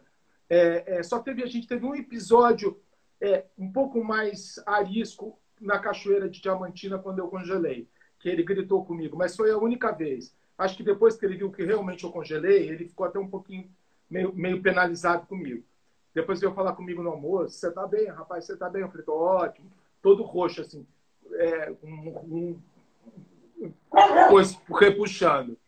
E daí eu cheguei para ele e falei, olha, Vancini, eu, a gente está na manchete, é dentro da casa. É, a, a, eu estou numa novela em Roma agora, na Itália, está fazendo um, um, sucesso enorme. Um person... Meu personagem está tá acontecendo muito lá. Se não fosse de outra emissora, eu jamais pediria. Mas como a gente está num hiato de personagem, e o, e o Dragão Santiago, nesse momento, está tá naquela barriguinha da história, eu iria na segunda-feira e voltava. Voltaria no sábado. E segunda-feira eu estou aqui gravando e pode botar, pode botar 30 cenas para mim. Daí ele falou: tudo bem, eu vou pensar. Eu vou falar com o autor e vou pensar. Eu falei, poxa, obrigado. Saí da sala dele, falei para o Matheus, o Avancini me adora, meu amigo. Vou pegar o telefone dele também, a gente vai ficar se ligando que nem você. falei, gente, por que, que a gente é assim? A gente fica com umas bobagens. O Avancini foi maravilhoso, ele entendeu, ele entendeu totalmente. Inclusive é pela mesma casa. Eu estou divulgando uma novela da Manchete. Eu estou vestindo a camisa da emissora. Entendeu? Daí eu liguei para o pessoal, para os contratantes, eu falei, olha, o Avancini falou que vai pensar, inclusive falou que vai falar com o autor. Ele falou: Olha, Charles, eu não vou emitir tua passagem porque eu preciso disso com certeza. Eu falei: Não, já falei com o vacina, tá tudo certo, vai dar tudo certo. Você não acredita. Cheguei, recebi o bloco. Era assim: Santiago faz uma coisa, vai para o tronco e é chicoteado. Eu passei uma semana sendo chicoteado num tronco assim. Uma semana. É óbvio ele falou com o autor, eles ficaram com ódio de mim, de eu ter tido a petulância de ter pedido para ficar uma semana longe da novela, mesmo que fosse para ganhar um gordo cachê. Mas sabe aquela sequência que eu fico lá, tipo, no tronco? Inclusive, calma, calma aí. Antes de você continuar falando sobre isso. Tinha uma fila de dragão para me dar chicotada. A novela inteira me bateu. Todo mundo botou todos os figurantes para me dar show. Começava pelo meu pai, ia todo mundo, botou todos os figurantes para me dar chicotada. E você não tem ideia. Ele me deixou num pau de sebo, muitas cenas estavam acontecendo na frente, e você olha lá no finalzinho, lá longe, um pau de sebo, era eu, sem fala, sem nada, mas estava lá. O Valcir escreveu Santiago amarrado. E eu fiquei lá amarrado durante sete capítulos. Você pensa se Uau. algum dia eu pedir para sair, fiquei lá sete capítulos assim, porque eu tive a feliz ideia de pedir uma semana de dispensa. O, o Avancini ligou para o Valcir, o Avancir falou: quer uma semana de dispensa? Uma semana de poste sendo chicoteado. Teve jeito. Nossa. É, inclusive, um dos nossos seguidores, ele fez essa pergunta, né? Que é o, o, o Janderson ele queria saber se no momento que estavam dando um chicote em você era de verdade, de verdade no sentido se, se era alguma coisa lá, se você se tinha alguma coisa nas costas para proteger suas costas. Não, é não tinha nada nas costas para proteger, mas era o chicote, ele era tinha um chicote que realmente instalava, mas o chicote que batia na gente, ele era de uma espuma de EVA. Só que é o seguinte, na empolgação, espuma de, de EVA machuca. Então, assim, é claro que que tinha um empolgado lá que sempre dava uma, uma cacetada, principalmente elenco de apoio, porque queria, eles queriam super, super mostrar serviço. Então, assim, os atores eram mais espertos, batiam mais com coisas, mas o pessoal da figuração, tadinhos, eles queriam tanto se mostrar naquele momento que pegava. Esse dia eu fiquei todo lanhado, porque e assim, eles acabavam me machucando mesmo. Eles batiam, era a cena que eles iam escotear o Santiago eu tomei cacetadas, cacetadas fortes, assim. Mas eu me machuquei nessa novela de todas as maneiras. Aquele buraco que eu caio era um buraco de quase 5 metros. O primeiro tombo Uau. foi real, porque ele falava assim: não, não, pode vir, pode vir, corre aí, corre aí. Eu falei: como assim corre aí? Não, só você correr, tá tudo seguro, tem colchão lá para você. Não tinha colchão, a gente subiu, eu, eu fui o primeiro. Não tinha o colchão? ainda chega depois. Não, não tinha um colchãozinho desse tamanho. Você acha que ele segura uma queda de 5 metros? Não. Não segura. 5 metros? Não imaginava que era, que era tão alto aquele buraco. É, se você reparar, ó, se reparar, quando a gente estica a mão, assim, ainda tem uns 2 metros para cima, assim. Era um, devia ser uns 4 metros, mas era um buraco fundo. Eu caí de cavalo uhum. várias vezes, me machuquei na, na cachoeira várias vezes. É, é... Não, a gente se machucou muito, muito, muito, muito. Tinha umas brigas da gente, assim, tipo, porque não tinha muito, não tinha dublê, e era uma coisa assim, era meio selvagem, Chica, sabe? Você tinha meio que com a, com a força do pensamento e, e se mandar, assim, sabe? É, é, a gente treinou esgrima, a gente treinou coisa, mas na hora H era pancadaria. Vai lá e dá umas cacetadas nele e pronto. Eu tinha muita briga com o Luciano de dar soco, da gente rolar. A gente se machucava dessa. Eu vivia Sim, todo. Tem uma cena que vocês fizeram, que vocês brigaram, que vocês... gente, essa cena tava realista demais. E o Não, Fernando Vieira falou que, que uma, o ataque ao quilombo, que vocês lutavam contra os quilombolas, também não foi nada ensaiado, era vai. Nossa, o ataque, o ataque mundo... ao, quilombo era, era, era selvageria. Eu tive uma luta é, nessa novela que eu me machuquei feio, que era com um ator que era o protetor da, da, da, da, da Clara nas águas. Sim. É, é, é ele, eu vou lembrar o nome. Era... Ah, eu esqueci ah? o nome dele agora. Sabe, eu, eu vou lembrar o nome dele aí. É, Tatiane, me, me ajuda a lembrar. Tatiane está aí nos comentários, ela sabe ele o nome. Tinha umas trancinhas, ele era super Sim. bom de corpo. Evano. Evano. Me ajuda aí, Tati. Então, esse dia foi punk, porque era um dia que a gente tinha que entrar na água. Daí, o, acho que o, o Gonçalo pegava Adriano e Galisteu e eu lutava com ele. E ele era muito forte. Além de muito forte, ele era muito esperto de corpo. E a gente estava na cachoeira. E quando ele me catou, ele me jogou na cachoeira. E a cachoeira era um córrego, eu caí na pedra, ele pulou em cima de mim. E a gente ficou lá lutando. Assim, peruca foi embora, sapato foi embora, água entrando no ouvido. Era, era, era, era novela raiz, tá? Não tinha negócio Ivano Nascimento. Ivano Esse. Nascimento, ele representava o Diogo na novela. Mas ele era tão pequenininho, ele chegou, jogou vocês ele lá era com, danado. Eu, eu acho que ele, ele era lutador de capoeira, porque ele era ah, muito, é mesmo. muito Verdade. magro. E ele dava, uma, ele dava umas voadas, assim. Eu sei que ele fez um golpe, que eu acho que nem foi pro ar, que ele voou no meu pescoço, tipo, me deu uma torção. Era uma loucura. Daí eu sei que uma hora a gente estava na cachoeira, ele estava me batendo muito, me batendo muito, eu segurei assim, ele bem perto, eu falei, é de mentira! É de mentira! Ele ia me matar. Ele ia me matar esse dia. Ele estava tão empenhado em matar o Santiago que ele ia me matar esse dia.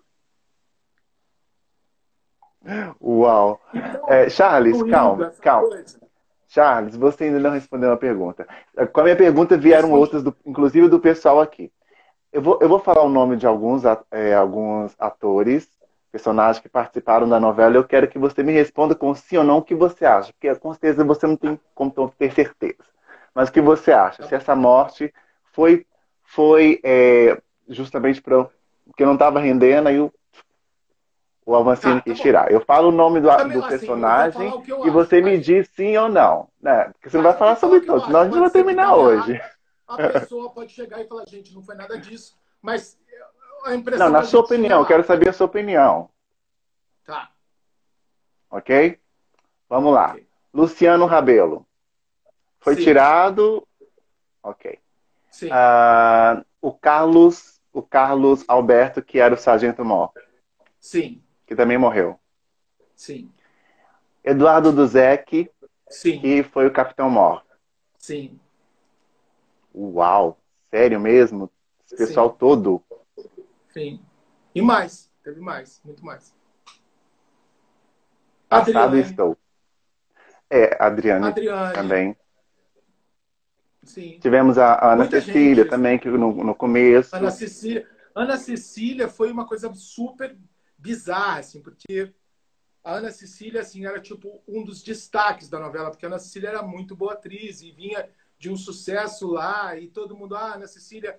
E tinha uma coisa muito louca, porque o Santiago, um possível relação do Santiago era com o personagem da Ana Cecília, que estava ali no, na, na, na, na, lista. Porque o Santiago era muito louco, né? Porque o Santiago ele virou. Ele traçou todas as novelas, mulheres dessa novela, né? Foi de A a Z. E tinha, o começo era um pouco era entre a Ana Cecília, tinha um pouco com a Clara, e daí ia desembocar no grande amor dele pela, pela, pela Elvira, ainda não tinha nem Agnes e Dona Céu na parada, e tinha uma coisa lá com a Anabela Teixeira. Mas a Ana Cecília, ela se recusou a fazer uma coisa, eu não sei se era uma cena que ela, que ela falou, essa é. cena eu não faço. E ela seria uma mula, o Quilô iria montar ele, nela. É. Ele, ele, ele, ele falava assim, é... ah, você não quer fazer? Não tem nenhum problema. É, Pilar, aproveita aí, tem um tiroteio aí, mata. Mas às vezes ele não era assim. Sim, eu vou te falar, claro, não é que ele estava desagradado com as pessoas. A novela, ela chegou num lugar de cansaço. As pessoas elas estavam muito exaustas. A novela durou um ano. A gente não tinha Sim. leis trabalhistas. A gente chegava, acordava às quatro horas da manhã para pegar a Kombi, Kombi, a Kombi, a Kombi para Maricá. E às vezes a gente gravava em Maricá e depois ia para Água Santa, para o estúdio, ou às vezes Água Santa e Maricá, ou eu, que às vezes fazia Maricá, Xerém e Água Santa, isso num dia. Então era meio insano tudo. O Carlos Alberto, que eu amo e é meu pai, eu sei dessa história, ele estava muito cansado. Ele estava desesperado de cansado. Ele, ele, ele não aguentava mais andar a cavalo os cavalos eram muito bravos, não eram cavalos fofinhos, era cavalo raiz. A gente trocava os nossos cavalos, o que era uma loucura, porque você sabe que o cavalo ele tem que, que se acostumar com você, né? Então a gente tinha, só que os cavalos estavam ficando caros, então pegava aquele cavalo que era bacana no começo, pegava, começava a pegar outros cavalos. Então eu sei que o Carlos Alberto ele estava muito ferrado da coluna e ele chorava de cansaço. E ele começou a reclamar com o Avancini que estava muito cansado, muito cansado. E assim o Avancini, está cansado? Então em breve você vai descansar. Daí tiraram ele da mataram ele. Daí no dia lá da, da do enterro dele, é, a gente muito emocionado, porque, muito emocionado porque o Carlos Alberto a gente amava e, e, tinha morrido. Daí eu lembro que o Avancini, eu, o, o, o Carlos Alberto estava no caixão e o, o, o Avancini chegou no, no coisa e falou: Está descansando, Carlos Alberto? E ele estava morto dentro do caixão. E a Zezé Mota? É, porque assim, ela também morre. A Zezé não, Mota a também. Zezé não. A Zezé, acho que a morte da Zezé estava prevista. A Zezé. A Zezé Eu achei desnecessária um, a morte grande, dela. Eu queria que ela ficasse um grande, até o final. É, a gente achou também. Era um grande esteio ali para a Thaís e para todos nós. Era a Chica, a primeira Chica, a gente amava ela, essa é minha grande amiga. É, eu acho que tinha uma coisa assim. E às vezes ele queria um pouco dar uma limpada de território, por exemplo. Às vezes, por exemplo, teve um núcleo que começou, por exemplo, o núcleo do dragão. Morreu tanta gente que eu não tinha mais com quem contracenar. Me tiraram lá do dragão, graças a Deus, mas morreu todo mundo. Então, não era uma coisa assim, assim. Às vezes você achava que não ia que não ia acontecer. Por exemplo, eu fiquei muito medo, com muito medo quando eu quando o Santiago se envolveu com a Elvira, que é, eu eu tive uma química com a Giovana incrível, assim, desde cara, assim, e a gente ficou muito amigo.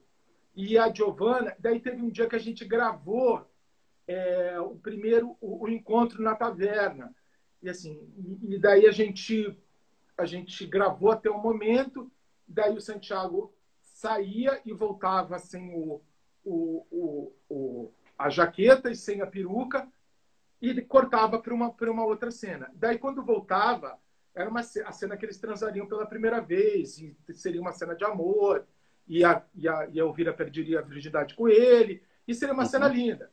Eu gravei com a Giovana a primeira sequência. Daí, no dia seguinte, no dia seguinte vamos esperar essa cena para gravar, porque cena de nudez, de sexo, a gente sempre esperava ou o final do dia, ou, ou, ou, o estúdio esvaziar, tirava todo mundo, só ficavam os dois atores que iam fazer a cena. E daí no dia seguinte eu me despedi da Giovana, a Giovana não falou nada para mim. E eu falei, bom, amanhã a gente faz. A gente ficou bem feliz com, com até a hora da cena do set. E a gente ia gravar no dia seguinte. No dia seguinte eu já estava lá preparado, de roupão para entrar, e eu não vi a Giovana. Falei, cadê a Giovana? Sim, daí falou, não, a, a, a Giovana vai, vai, vai, vai fechar com você, espera um pouquinho, as cenas vão ficar mais para o final, porque essas cenas são, são pesadas. Tira o roupão e vamos gravar outras coisas. Eu tirei o roupão e gravei o dia inteiro. Daí, no final, eu falei, a minha cena, a, sequência de sexo do, do, do, do, Santiago e da, e, da, e da Giovanna. E eu não via a Giovanna o dia inteiro.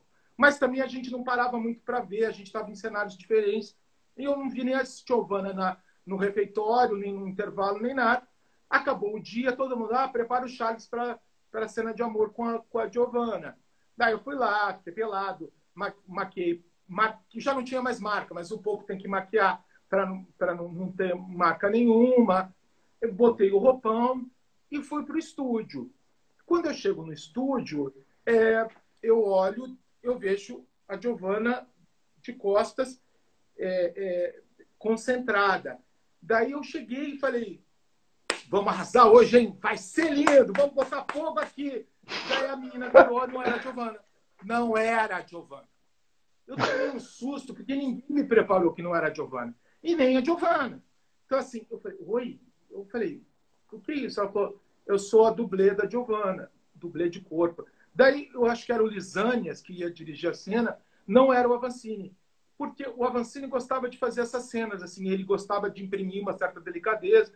Eu achei até que ia ser a, a, o Avancini, porque era a primeira noite da Elvira e acho que era a noite do Santiago, assim, era, era a hora que o personagem ia dar um salto. Daí o Lisanes falou, não, não, Charles, essa aqui é a dublê de corpo da Giovanna. Eu falei, a Giovanna tem dublê de corpo? E eu já fiquei preocupado. Eu falei, meu Deus do céu, o que a Giovanna arrumou para a vida dela? E daí eu, eu falei com a garota, assim, eu super constrangido, porque eu nunca tinha visto a garota na vida. Eu falei, oi, tudo bem? Fomos para uma cena de sexo.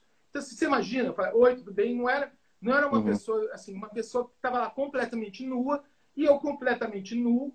E a gente falou, daí assim, veio o Lisânias, marcou uma coreografia que era bem ardente, assim, eu tinha que beijar, agarrar ela, beijar o seio dela, é, subir em cima dela, fazer os movimentos todos. Daí teve uma hora que ela tinha que virar, chorar, uma lágrima assim, eu, eu uhum. abraçar ela e falar uma coisa, eu te amo. E daí eu fiz com aquela garota. Foi assim, super difícil para mim, porque, imagina, oi, tudo bem? Fiz cena de sexo. Daí eu saí de lá, assim, e ela, e eu achei ela bem, bem, bem na dela, assim, bem, bem colocada. Daí eu saí de lá, eu falei, gente, alguém me explica o que aconteceu com a Giovana. Ela não foi fazer cenas, falou, não, não, a Giovana, Giovana não, não topou fazer, é, não sei se estava no contrato dela ou não, ninguém quis me falar. Eu fui embora, cheguei e virei para o Pilar. Eu falei, quem é a atriz? Ele falou, não é uma atriz. Ela é uma garota de programa que eles pegaram pelo jornal, porque senão a, cena ia pendurar. Eu falei, ah, ok. Abriram um jornal, pegaram uma garota de programa ali da região, viram um tipo, acho que escolheram entre algumas, enfiaram a peruca na Giovanna e viram, pegaram uma garota de programa lá e falou: você pagaram o horário, pagaram o horário dela, garota de programa. Ela, eu fiz um programa com essa garota. essa garota um programa de TV. Ela fez um programa de TV. E eu falei, meu Deus do céu, vocês são loucos, gente. Vocês não fazem. Então, por isso que eu te falo, não é uma. Era raiz tem muitas coisas no Chica que, que assim, se a gente abrir o, a boca, gente. O Fernando Vieira falou sobre isso, inclusive tem as cenas em que os, a Chica leva os escravos nus para o arraial, que hum, boa parte também eram, eram, eram mulheres, né? Que faziam programas, que estavam ali, que foram contratadas. É, outra Sim. parte também era fazia parte do, do, do, do elenco de apoio. Charles, é, tem muitas perguntas dos, dos nossos seguidores. Eu acho que é o momento de você respondê-las. Que tal? Vambora. Vambora? Desde já eu quero agradecer primeiramente a Jaqueline Cristo, lá do Facebook. Ela mandou é, a pergunta como é que foi contracenar com a Giovanni. Você acabou de responder que tinha química entre vocês. Então, agradecendo a, a Jaqueline Cristo por ter enviado a pergunta. Sua pergunta já foi respondida, Jaqueline. Eu amava a Giovanna. Giovanna, grande, grande atriz, uma jovem um furacão. Virou a estrela que virou, tinha muita entrega, assim, uma pessoa. A gente tinha. tinha eu, Giovanni Piva, a gente amava contracenar, a gente ficava muito feliz, assim. Era muito difícil torturar o Piva, porque eu amava tanto ele, amo ele muito, mas a gente adorava ficar se implicando, assim, era ótimo, amava. E Giovanna, grande casal, assim, grande, grande química, grande parceira de cena. Agora, outra pergunta que eu tenho para você é da Noelle Stranks, se não me engano. Noelle Stranks aqui do Instagram.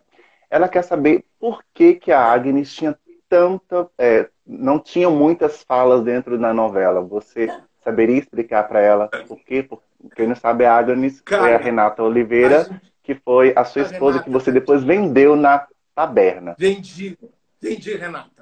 Assim, eu fiquei muito revoltado nessa época, porque eu estava achando que o Santiago estava entrando num bom caminho. Eu falei, graças a Deus, esse personagem parou de fazer maldade. Mas eu, eu e Violante não teve jeito. A gente ficou fazendo maldade até o último segundo dessa novela. E engraçado que eu achava que ia ter um final, tipo, botar fogo nele. Não, ele acabou ótimo. Mas a, a, a Renata era ótima atriz, ela era linda, assim, tinha uma, uma coisa, mas não escreviam para ela. Ela, ela. Eu ficava louco, assim, eu queria que dessem falar para ela e eu queria que ela aparecesse mais, assim. Eu tentava sempre é, é, dar um espaço, assim, às vezes, para ver se, se tinha um eco, mas era muito impressionante, assim. Eu ficava, eu ficava muito chateado. E ela percebia, porque eu queria, sabe, aquela sequência que eu decido vender, não sei se você lembra, uma sequência que eu saio, que eu peço para voltar para minha casa. Eu lembro uhum. que, que eu falei, poxa, agora a Agnes vai brilhar, porque vai ser a hora dela, sabe? A gente voltando para casa, e eu falando, eu implorava para para Drica deixar eu entrar, e a Drica falava, vai embora, você vai morrer mendigo.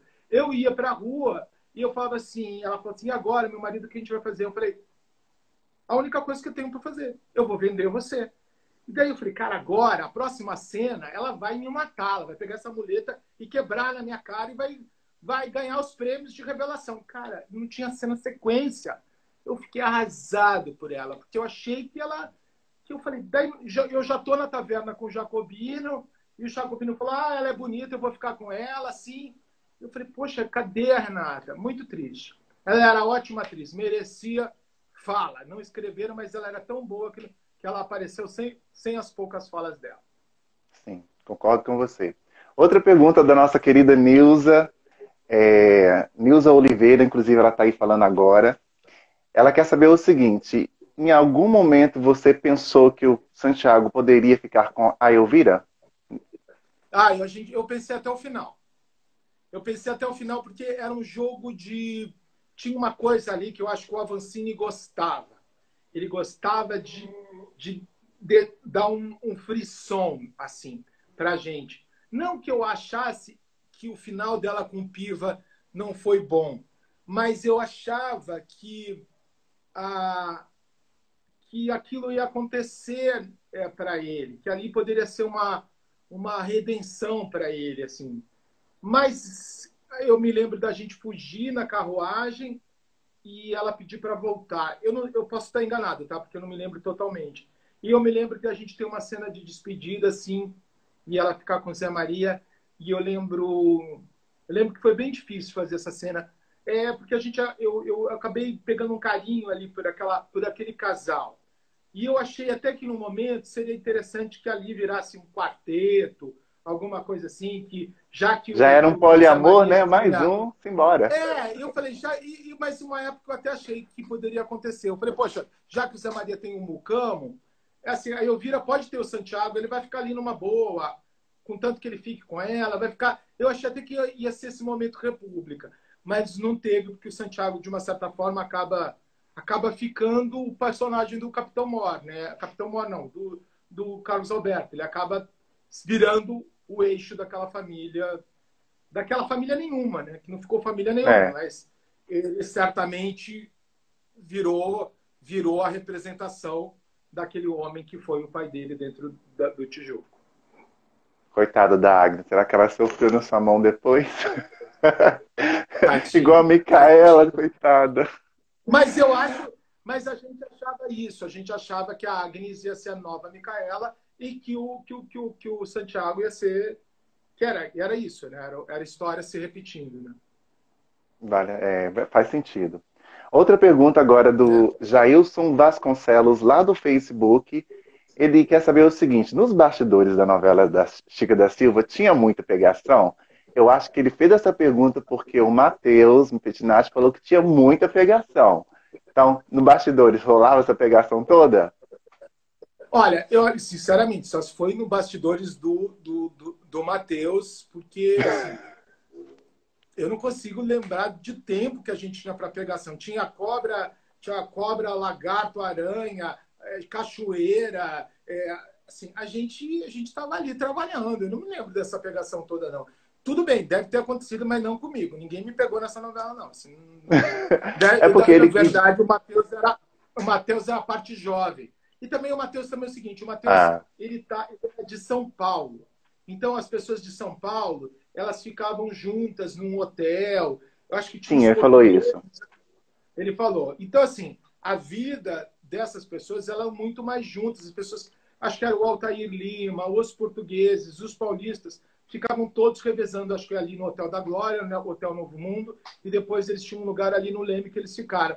Então acho que essas pessoas estavam mais juntos. As pessoas do Rio, não, as pessoas do Rio. Eu saía muito com a Giovanni com Piva, é, com a Macaia, que era hilária, minha querida amiga Macaia, amada. É, eu saía muito com o Luciano, é, é a gente saía para jantar, é, para conversar, mas amigo, amigo, todo mundo de turma. Não tinha, eu desconheço. A Chica em si era uma pegação na novela, mas fora de cena, desconheço total. Aliás, não tinha nada disso. Falar. Essa história não. Ele, ele não, tem não histórias para contar. Eu também quero é, saber. É, Estou esperando. Mateus, quem Mateus, sabe uma live com ele, estou aguardando. Isso ser ótimo. Matheus despertando corações. Pois é. Outra pergunta, dessa vez da Grazi Annie Wish, acho que eu falei certo, aqui do Instagram. Qual foi a cena mais tensa de fazer na novela Chica da Silva? Mais? Qual foi? Tensa. Tensa, ou mais difícil. Muito tensa. Muito tensa. Mas, assim, todas, eu tive muitas sequências tensas na novela. Mas eu tive uma sequência bastante complicada que a gente fez, que é a sequência da gruta. No final, acho que no final da novela, quando, quando o Santiago fica aleijado por causa do, do tiro do, do João Felipe, é, com a Drica. O que aconteceu? Essa sequência, eles acharam uma gruta em Maricá era uma gruta, era uma gruta dentro de umas pedras e essa gruta ela tinha uma queda d'água e embaixo tinha e tinha esse lugar que passava um córrego de água que a gente começou a gravar ali, eu e a Drica. Então a gente gravou umas cinco cenas ali, só que era mesmo no dia claro ficava muito escuro. Então essa caverna ela era muito ruim de gravar porque ela tinha muita umidade, ela tinha musgo, ela tinha morcego, ela tinha muita aranha. Ela era muito. Não era no estúdio, não? Sim, aí que tá, aí que vamos chegar. A gente ficou então em sofrimento, tanto eu quanto a Drica. Eu entrei um pouco mais em sofrimento porque eu estava com um tiro, então eu tinha que ficar deitado na caverna. Então, assim, tipo, formiga entrava no meu ouvido, é, é, era muito úmido, tinha um bolor bizarro. Eu lembro que eu olhava, assim, tipo, um morceguinho pendurado, é, água suja de estalactite caindo na minha cabeça, aquele córrego, era um fedor, aquela caverna era uma coisa horrorosa. A gente ficou ali tentando, tentando, tentando, tentando. Foi uma longa sequência que quando foi, quando o Avancini reviu a, a sequência, eu não sei se ficou muito escuro, eu não sei se ficou, porque era muito desconfortável. Fora que o, o, o ar era rarefeito, né? Porque a gente estava embaixo da terra, era e eu sou um pouco claustrofóbico. Um pouco não, eu sou muito claustrofóbico. Então, era muito, era como você está se sentindo enterrado. E quando os técnicos se mexiam, principalmente os câmeras, eles batiam na caverna e caía aquela areia da caverna eterna, sabe? Dentro da cara da gente, no olho, dentro do nariz. Era muito agoniante. Então, assim, várias vezes eu tossia aquilo. É, é, foi, a gente estava guerreiro ali, eu e a Drica, mas a gente teve, o Avancini não aprovou nenhuma dessas sequências. E eu, daí eu comecei, eu falei, cara, se eu tiver que voltar para essa caverna de novo, eu vou pedir para morrer. Eu juro por Deus que eu vou pedir para morrer ali na caverna, porque eu não queria. Daí eu sei que eles entenderam que aquilo estava muito insalubre e fizeram, fizeram no estúdio. Atrasou muito, porque eles tiveram que construir o cenário, né? Construir no cenário e a gente daí gravou, gravou a sequência apesar de eu adorar aquele momento do Santiago, assim, principalmente ali, porque eu achava, eu achei muito bacana que o Valser desenvolveu, né? Se você olhar fotos do Santiago no começo, ele era ele era um garoto de 17 anos, jovial, e no final ele é ele tá aleijado, ele tá todo ferrado, ele tem febre. Tanto é que quando você fala do DNA, quando o Santiago começa a sofrer, ele pega doença venérea, tudo, to, as, todas as pragas do Egito aconteceram com o Santiago, né? Ele, o Avancini falava que o meu DNA mudou. Ele falava assim: eu tenho febre, eu tenho febre. Então tudo era eu tenho febre. Se você passar, se você ver o final do Santiago, tem essa situação febril. A maquiagem é toda para febril. Eu enfiava é, um, um lápis vermelho aqui debaixo do olho para parecer febril. E eu adorava essa descomposição, porque saía daquele universo do galã, né? O Santiago foi muito galã durante um período, ficou com várias mulheres, e no final eu achei muito bacana que o Avancini me deu essa oportunidade de me mostrar um lado meu de ator, que eu estava horrível, super desconstruído, com dente amarelo, com aquele cabelo todo oleoso, desconjuntado, a gente ficava com um borrifador para televisão o tempo inteiro te secando a gente ficava com um borrifador para deixar ele suando, com febre, horrível. E eu, eu adoro ver essas cenas, assim. As pessoas, a minha mãe fala, você está horrível nessa cena. Eu falei, eu estou me adorando nessas cenas. Porque sai do estereótipo que sempre me, me colocaram, que eu agradeço, não estou cuspindo no prato que eu comi, mas eu adorava ver que o Avancini teve a coragem de pegar, o Avancini e o Valcir, pegar um personagem que estava ali marcando como um dos galãs da novela. E a novela tinha, tinha essa história do contratador com a Chica, né, essa coisa galã. Tinha o par romântico né, do Murilo é, é, com a das Dores. Mas o Santiago ali foi, um, foi uma, uma peça-chave assim, de galã. Né? Ficou ali ali com várias mulheres, sedutor, e pegando todo mundo, fazendo suruba. Tive Menagem a Troar, teve, teve tudo. Sim. Eu, teve tudo. Eu fiquei nua a novela inteira e com muitos romances, né? Tipo, troquei de namorada besta, troquei de mulher a besta, sempre apaixonada pela Elvira, mas sempre muito com muita coisa, né? É, é, Titiolina.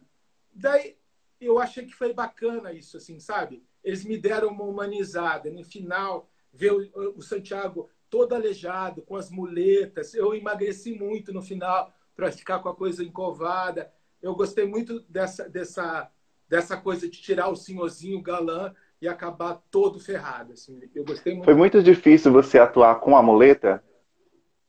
Ou não? Foi, foi bem difícil. Onda... Não, foi difícil por causa da, do chão da, da, da, cidade cenográfica, porque o chão ele era muito, ele era muito irregular, desigual. E eu amarrar, a gente amarrava a minha perna para eu não ter uma falsa, sabe assim, para eu não botar o pé no chão e parecer falso. Então a gente amarrava a perna na coxa, então eu apoiava só um pouco o pé, mas ela era muito complicada porque ela era muito alta. Eu gostava dela ser desengonçada, eu acho que dava uma uma tristeza maior para o personagem, mas era muito difícil, era bem difícil. Você tocou num, num, num ponto bem interessante. Você tocou num ponto bem interessante, falou sobre é, a novela, né, como o que ela representava para alguns atores. Ao final da Rede Manchete, nós sabemos que foi movida uma ação de boa parte do elenco, ou todo o elenco, contra a Rede Manchete para receber os seus direitos de imagem, porque a, tele, a, a novela continua passando no mundo inteiro e aumentando o número de fãs e dando muita audiência. É, no seu caso, você recebeu os seus direitos ou não? Você ainda está tá, ah, pleiteando por isso?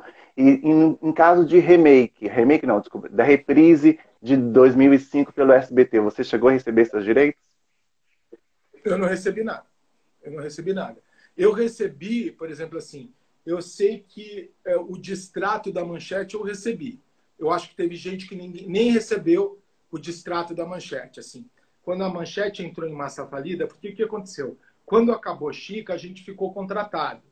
Algumas pessoas, né? Não sei se todas as pessoas, mas eu fiquei contratado. Eu fiquei morrendo de medo de ter que encarar o Mandacaru, mas eu, eu, eu já tinha falado para o Avancini que eu tinha que fazer teatro, enfim. Mas ele também acho que nem pensou em mim na novela, mas um dia lá eu soltei dizendo que eu já tinha uma temporada armada e eu tinha mesmo. Eu não era uma mentira, mas eu achei que eu poderia pegar a próxima. que era a brida. E daí eu comecei a sofrer por antecipação, porque eu falei, meu Deus do céu, eu não quero fazer brida de jeito nenhum. Comecei a ficar muito aflito. Então, antes de, de, de começar o brida, eu fui na manchete e fiz o meu distrato. Então, talvez isso seja tenha sido uma porque eu acho que teve um momento que é, a manchete começou a passar mal é, pelas pernas e eu lembro do meu advogado falar faz um acordo a manchete não está bem sai antes da coisa sair e eu muito com medo de ser escalado pelo Brida para o Brida eu falei poxa o Avancini vai me escalar eu estava lá e eu falei, ele, ele, eu vou fazer brida. Antes, de, antes disso, eu falei, não posso, eu acho pouco, pouco honesto é, é, eu não fazer, já que eu não fiz Mandacaru. E eu fui lá e a gente fechou é, antes. E não é que, assim, eu, eu achava, eu adoraria ter feito o Brida se eu tivesse concluído os meus trabalhos fora mas eu ainda estava tão envolvido com as minhas produções e não, eu estava tão ali. Você vê que a minha carreira ela decolou muito a partir desse momento. Assim, a minha produtora decolou muito. Então eu sabia que eu tinha que investir toda a minha força ali, porque senão eu ia ficar um ano numa novela e talvez eu ia ter que adiar meus projetos todos. Não foi nenhuma empáfia de, ah, não quero fazer brida porque brida vai ser ruim. Não, era simplesmente porque eu tinha que me dedicar às outras coisas. Então eu tive a sorte de fazer o distrato antes mas muitos atores não receberam e acho que isso é muito injusto, porque a novela Chica passou no mundo inteiro e a gente até hoje não, não viu um centavo de nada. Assim. Eu cheguei a viajar pelo Chica para Nova York e para Miami para fazer para fazer trabalhos por causa do Santiago, mas eu nunca recebi um centavo, nem do SBT, nem de nenhuma nenhum país, nada. Em caso de remake, você, se você tivesse um convite, você aceitaria participar novamente da novela? Ah, eu aceitaria. Eu acho que assim, eu não eu aceitaria porque eu acho que a gente a gente foi muito feliz ali, sabe?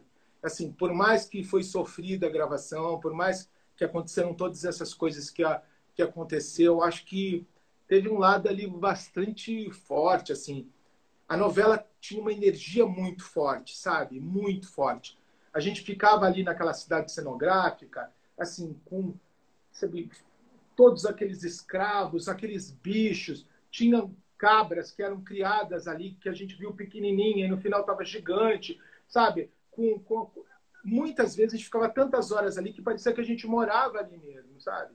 É, foi muito foi muito interessante. Eu tenho 53 anos, sei lá o que personagem eu poderia fazer. nessa, nessa altura do campeonato. Mas eu gostaria. Sargento Mor, Capitão Mor.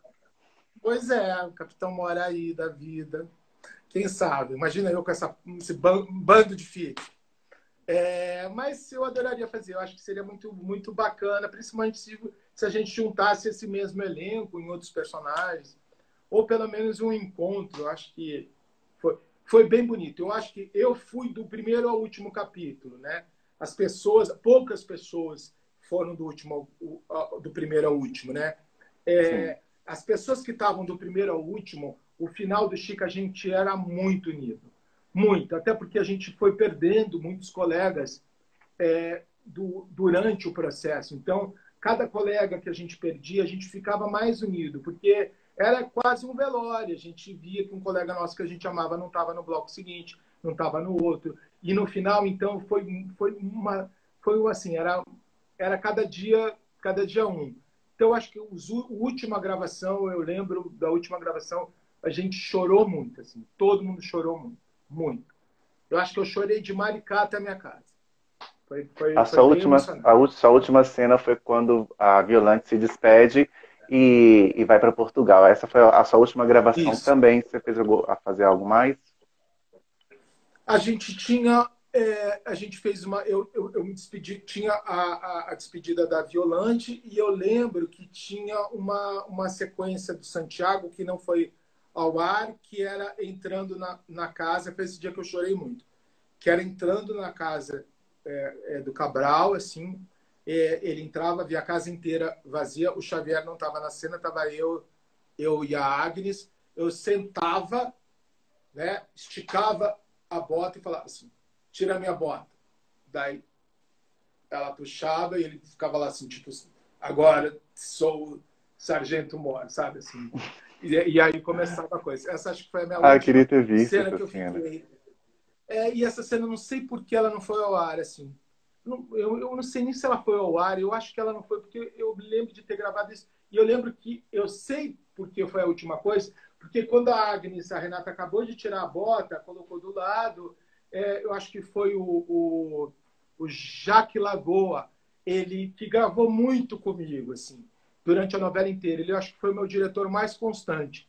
Ele falou assim, eu nunca vou esquecer, ele falou assim, é, obrigado, meu amor, Charles Miller, Santiago Cabral, muito obrigado por você ter estado com a gente durante esse um ano.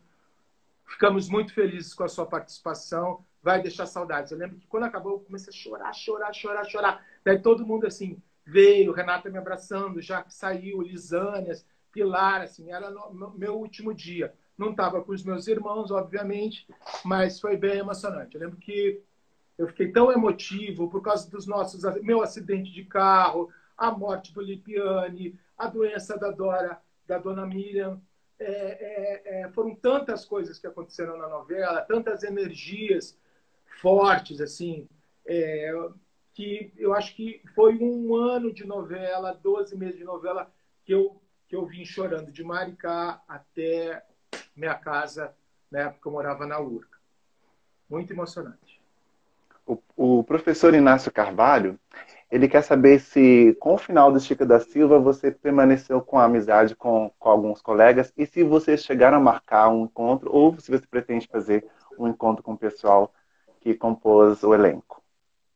Então, quando acabou o Chica, eu já estava assim, eu estava atrasado para começar os ensaios de uma peça que eu fiz é, chamado As Malvadas. Então, eu já estava, eu escrevi essa peça, eu produzi eu comecei a postergar meu ensaio, é, porque eu, eu não, o Chica não acabava. A gente recebia adendos e adendos e adendos. Quando começou, quando acabou, já caí de dentro dos ensaios, mas a maioria deles vieram assistir o meu espetáculo. Na época, a gente ficou muito amigo é, todo mundo. Assim, eu, eu, não, não me lembro de uma inimizade que a gente teve. Só que a vida foi levando a gente para outros lugares. O Fernando Eires trabalhou comigo, eu chamei ele para espetáculos meus que eu dirigi. O Guilherme Piva, eu, eu fui diretor de um núcleo dentro de uma minissérie chamada Chiquinha Gonzaga, e o Guilherme Piva era do meu núcleo, eu acabava dirigindo o Guilherme. É, é, eu encontrei com muitos pela vida, sabe? A Thaís Araújo, agora, antes de começar essa novela dela, a gente estava no Cidade, ela estava gravando no Cidade das Artes e eu estava ensaiando no Cidade das Artes.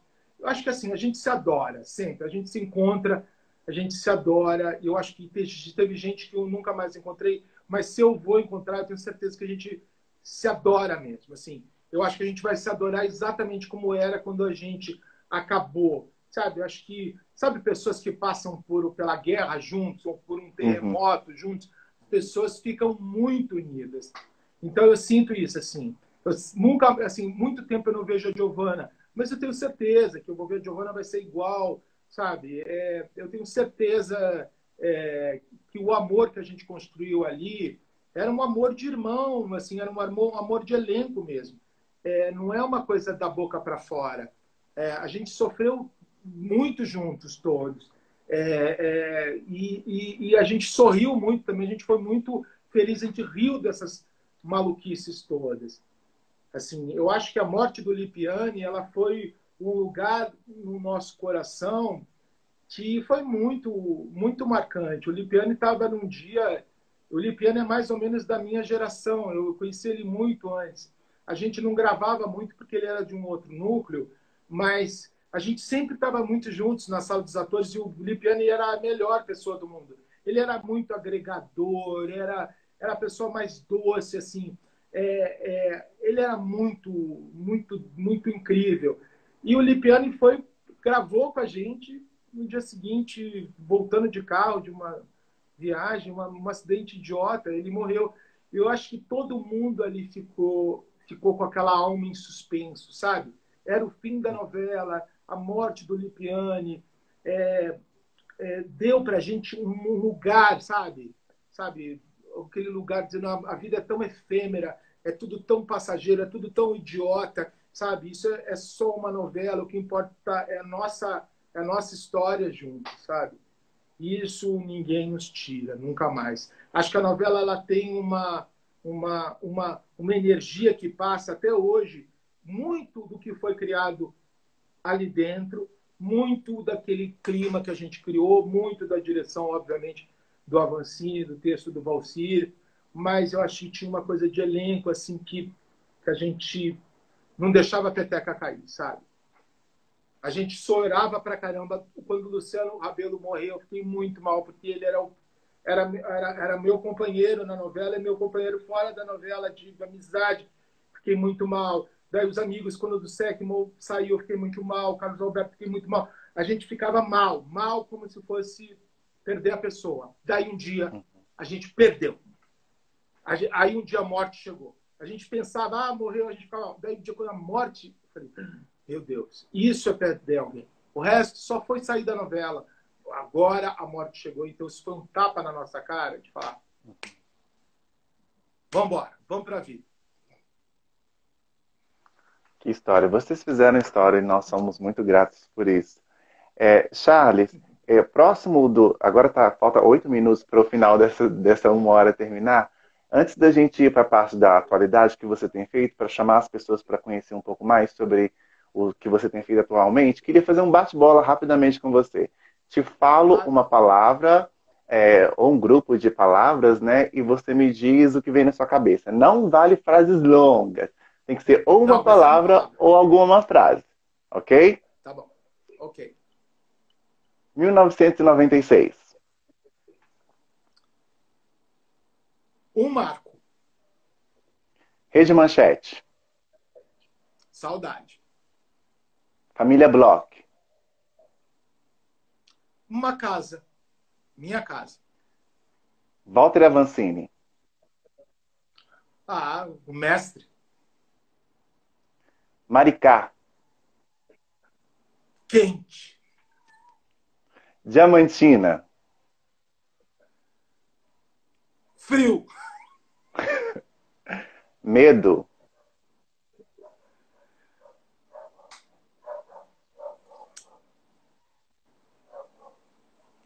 Decadência.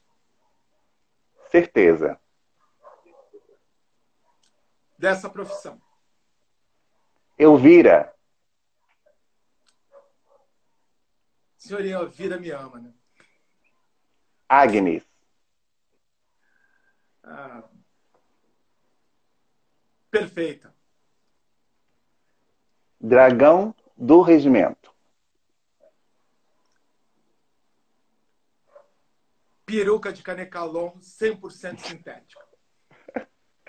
Família Cabral. Os amores da minha vida, todos. Santiago. Melhor personagem que eu fiz na TV. Amava. Chica da Silva. Rainha do Tijuco, mãe de todos, deusa. Tinha que, tínhamos que contar de Chica da Silva todos os anos. Deusa das deusas. Atuar. Foi uma necessidade. Hoje eu olho com com muito orgulho. Dirigir. Há uma necessidade. Uma necessidade. E musicais. Minha carreira, minha vida. Aquilo que me deu um norte. Meu timão, meu navio. Minha base sólida. Que live, hein, gente? Nossa Senhora. Charles, agora eu vou pedir para você, por favor, que fale da atualidade. Se gente, nós temos cinco minutos antes do final. Se não der tempo, a gente abre a live e você continua falando que a gente quer que você convide é, todo mundo para poder saber o que você tem feito agora, que para a gente é muito importante. Esse é o momento de você também compartilhar com a gente sobre uh, o que está acontecendo com você. Tá legal. Então, assim, desde o Chica, eu, eu, eu me tornei autor e diretor e produtor de teatro musical. A minha carreira inteira foi, foi voltada para isso. Isso era um plano meu E eu, eu, assim, eu tenho feito muita coisa, eu já dirigi 49 espetáculos musicais, trouxe quase todos esses musicais internacionais de grande porte para o Brasil, que eu dirigi, sou autor de muitos desses musicais. A minha carreira hoje em dia é dentro é, da Meller e Botelho, que é uma das maiores produtoras de teatro musical do país. Então, se vocês não conhecem, querem conhecer, é Meller e Botelho, tem Instagram, tem meu site. É, é, ela é uma, uma produtora destinada à feitura de grandes espetáculos musicais no país há 30 anos. Começou pequenininho e depois do Chica a coisa começou a ficar maior, eu foquei ali e esse é meu ofício. Então, venham conhecer a Melha de Botelho, Instagram Melha de Botelho, é, site www.melhaebotelho.com. É só vocês. E tem todos os sites e todos os Instagrams de todos os espetáculos que eu fiz na minha carreira e hoje em dia é isso. Hoje em dia eu sou diretor de teatro musical e produtor. Um dia, quem sabe, eu volto a fazer o remake do Chica.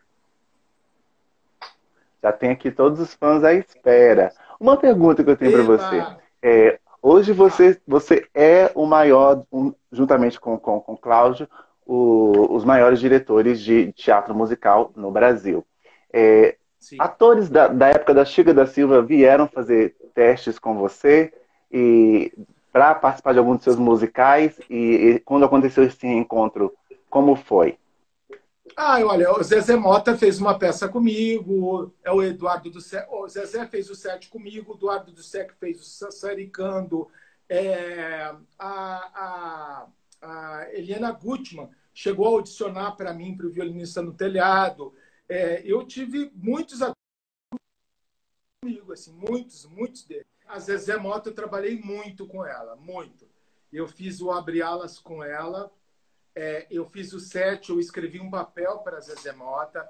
É, eu sou muito amigo dela até hoje. Assim, há, há, há pouco tempo atrás, ela me chamou para dirigir uma coisa é, com ela. É, eu, ela é minha amiga. Eu tenho um projeto com ela para daqui a pouco. Assim, é uma pessoa que eu sempre trabalho, é uma pessoa que eu amo.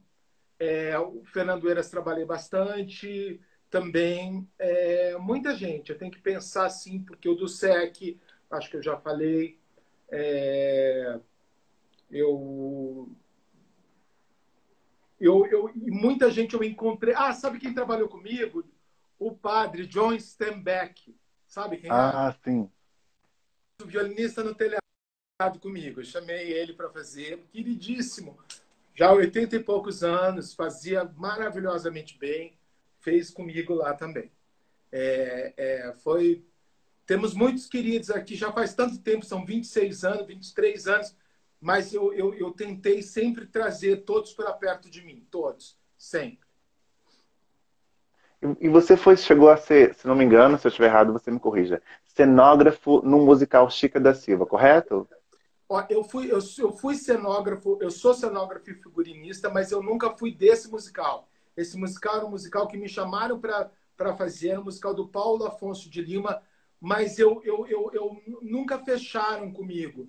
Daí, hum. daí depois me falaram que me acharam caro. Daí eu falei assim, ah, daí eu falei assim, ó, se você, eu ainda dei um, dei um pacote de fazer cenário e figurino do Chica da Silva junto é, com a direção, mas não fecharam, então eu não cheguei a fazer.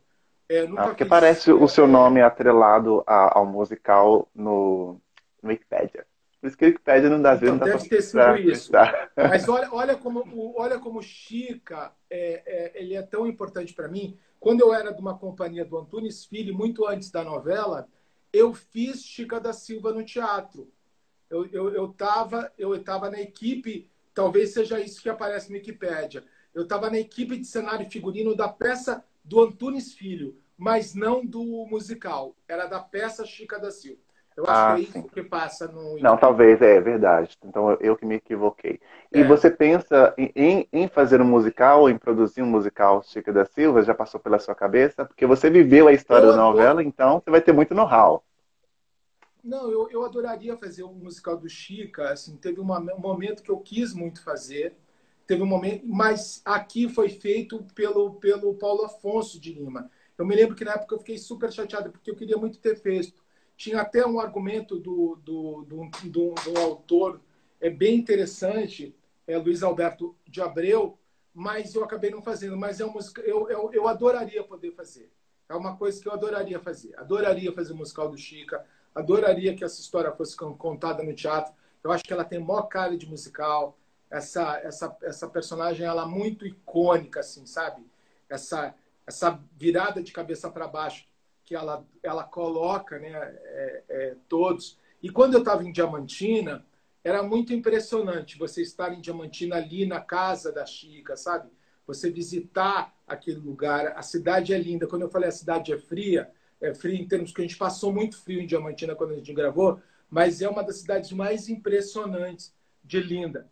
E o Maricá é lindo também. Eu falei quente porque a gente passou muito calor ali. Mas o, o Diamantina, ela te, de, ela te dava um lugar é, do Chica, é assim, porque tinha tem, tem histórias, assim, tem um personagem meio que podia ser o Cabral, tinha os filhos. A gente ficou ali andando, né?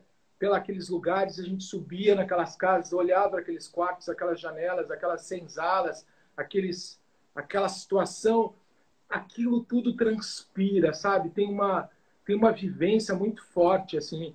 Se você, você nunca sai inteiro quando você sai de uma senzala, nunca sai. É, você sai destruído. É, assim, aquilo fica na tua cabeça por dias, assim, sabe? É uma, uma coisa na alma que você não, você não, você, você não fica.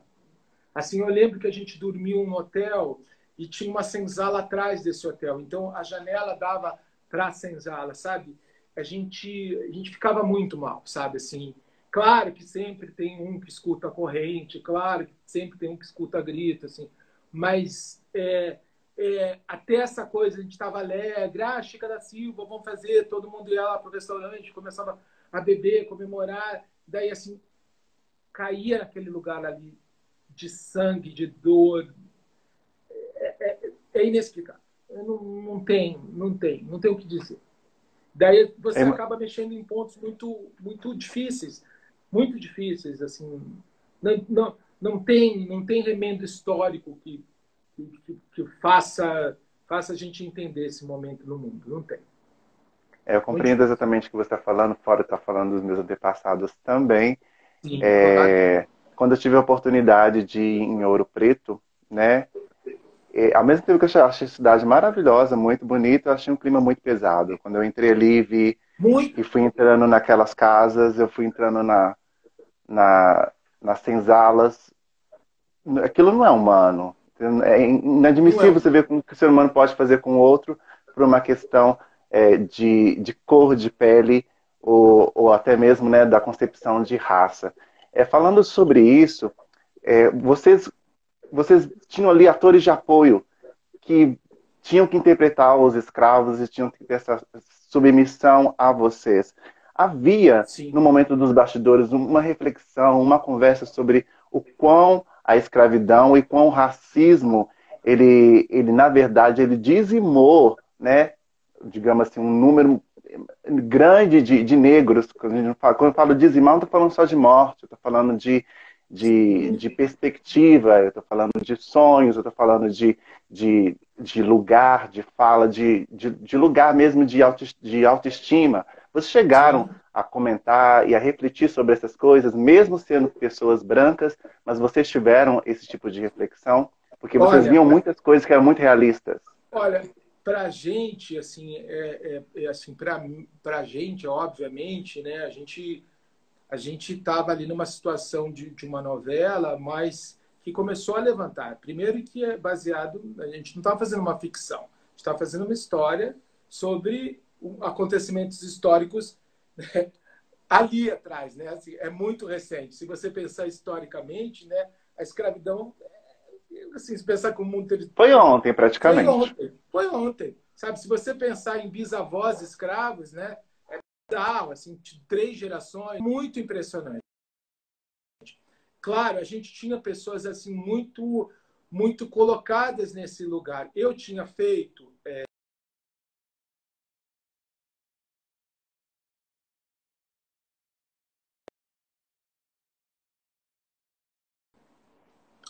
Tchau.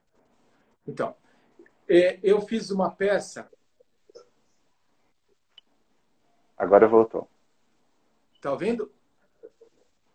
Sim. É, eu fiz uma peça com Milton Gonçalves, o pai do Maurício Gonçalves, e com Maurício Gonçalves antes, chamado Master Herod e os Meninos, que é a história de um jovem criado na África do Sul, é, e ele era criado pelo pai preto dele, entre aspas, que era o Milton Gonçalves, e o irmão preto dele, que era o Maurício Gonçalves, dentro de um bar.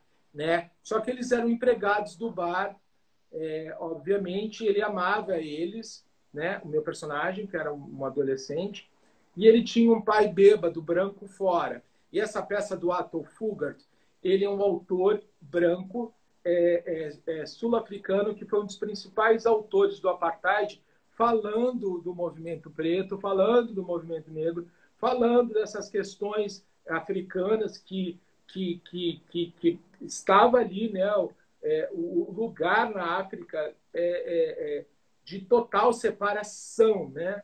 Tinha no mundo inteiro, mas também tinha na África. Esse olhar do apartheid foi muito importante para também ver o próprio povo africano, branco, escravizando ou destratando o separatista dentro da própria África. É, e esse personagem, ele adora eles, né, o Milton Gonçalves, e ele começa a fazer uma redação escolar. Está fazendo essa redação escolar e está se divertindo, e está rindo. Daí o Milton Gonçalves, o personagem dele, era, era o garçom do, desse bar do pai do dono do menino. O, o, filho, o Maurício Gonçalves é, é, queria dançar num baile, e ele se diverte, ele ri, ele abraça, ele beija, ele recebe um telefonema que o pai bêbado vai voltar para casa, ele fica bravo e começa a ficar irritado. Meu personagem, isso no meio do segundo ato. Ele começa a ficar irritado, ele começa a ficar irritado, daí de repente ele pega uma régua e bate na cara do Maurício.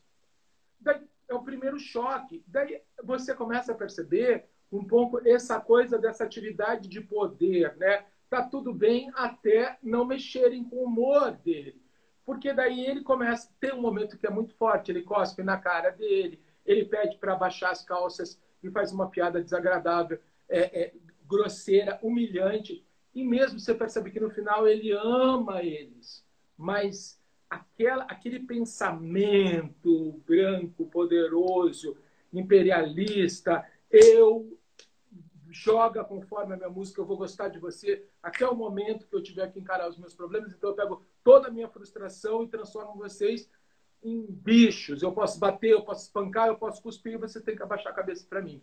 Durante esse processo, já na peça, foi muito duro para mim. E o Milton e o Maurício me ajudaram muito. O Milton falava assim, Charles, não fraqueje. Se você fizer, porque às vezes eu falava, eu não vou cuspir em você. Pô, cuspa eu, você tem que fazer porque você tem que ser o espelhamento disso. Você tem que estar tão convincente da crueldade para você se convencer, para a gente poder fazer isso. Eu lembro que a gente apresentou para os movimentos negros aqui no Rio de Janeiro, em São Paulo, é, e as pessoas elas não aplaudiam. Era tão pesada a peça que as pessoas não aplaudiam. Então, quando eu cheguei no Chica, eu cheguei já com essa carga do apartheid, dos estudos, é, é, é, é, mas eu nunca tinha lidado com entradas em senzalas, com equipamentos de tortura, é, com, com aquilo, e, e aquilo foi modificador. A gente conversava muito com Alessi Brandão, com a Zezé Mota, é, é, com as pessoas, para a gente tentar entender o eco, sabe? Eu acho que isso tudo que está acontecendo hoje, que a gente está parando para prestar atenção e para perceber o novo vocabulário, tentar dar espaços justos é, e tentar dar voz sem, sem achar. Eu, durante muito tempo, Tiago, eu achava que eu não podia dizer, ah, eu não. Poxa, eu, eu, eu, eu, eu, eu não tenho nenhum, nenhum olhar, mas a, a situação de ser branco já me coloca numa situação privilegiada, já me coloca numa situação diferenciada. Mesmo que durante muitos anos eu falava assim, não, isso não existe. Existe, existe muito, existe o tempo inteiro. E no Chico existia. Às vezes acontecia assim, pessoas do elenco de apoio que faziam escravos, que carregavam sombrinha, dava, dava é, intervalo e a pessoa ficava carregando a sombrinha. E eu falava, meu, não, fecha essa sombrinha, você não pode ficar carregando sombrinha. Ela falou, não, não, tudo bem, eu tô, eu tô querendo fazer. Eu falei, não, mas você não pode. Eu ficava, às vezes, aflito, sabe? É, com essa situação, porque às vezes a novela fica tão pesada. Então, assim, tem um monte de escravos ali, de elenco de apoio, figurante. Às vezes, é, a pessoa ficava numa situação um pouco, às vezes, escrava ficava sentado numa cidade cenográfica, às vezes, e, é, e era muito dolorido para a gente, porque a gente estava o tempo inteiro tentando integrar para não estar tá nisso. Eu lembro que a Manchete trabalhava com muitas agências de figuração e tinham pessoas muito bacanas, assim. Acho que o Pilar era uma dessas pessoas. Tinha uma das pessoas que estava até na novela, que eu acho que ela era de uma agência de figuração também, que ela trazia muitos negros e tinham ali uma consciência de estar tá fazendo um pouco um pedaço da história. Porque você imagina, poxa, você fazer figuração de escravo.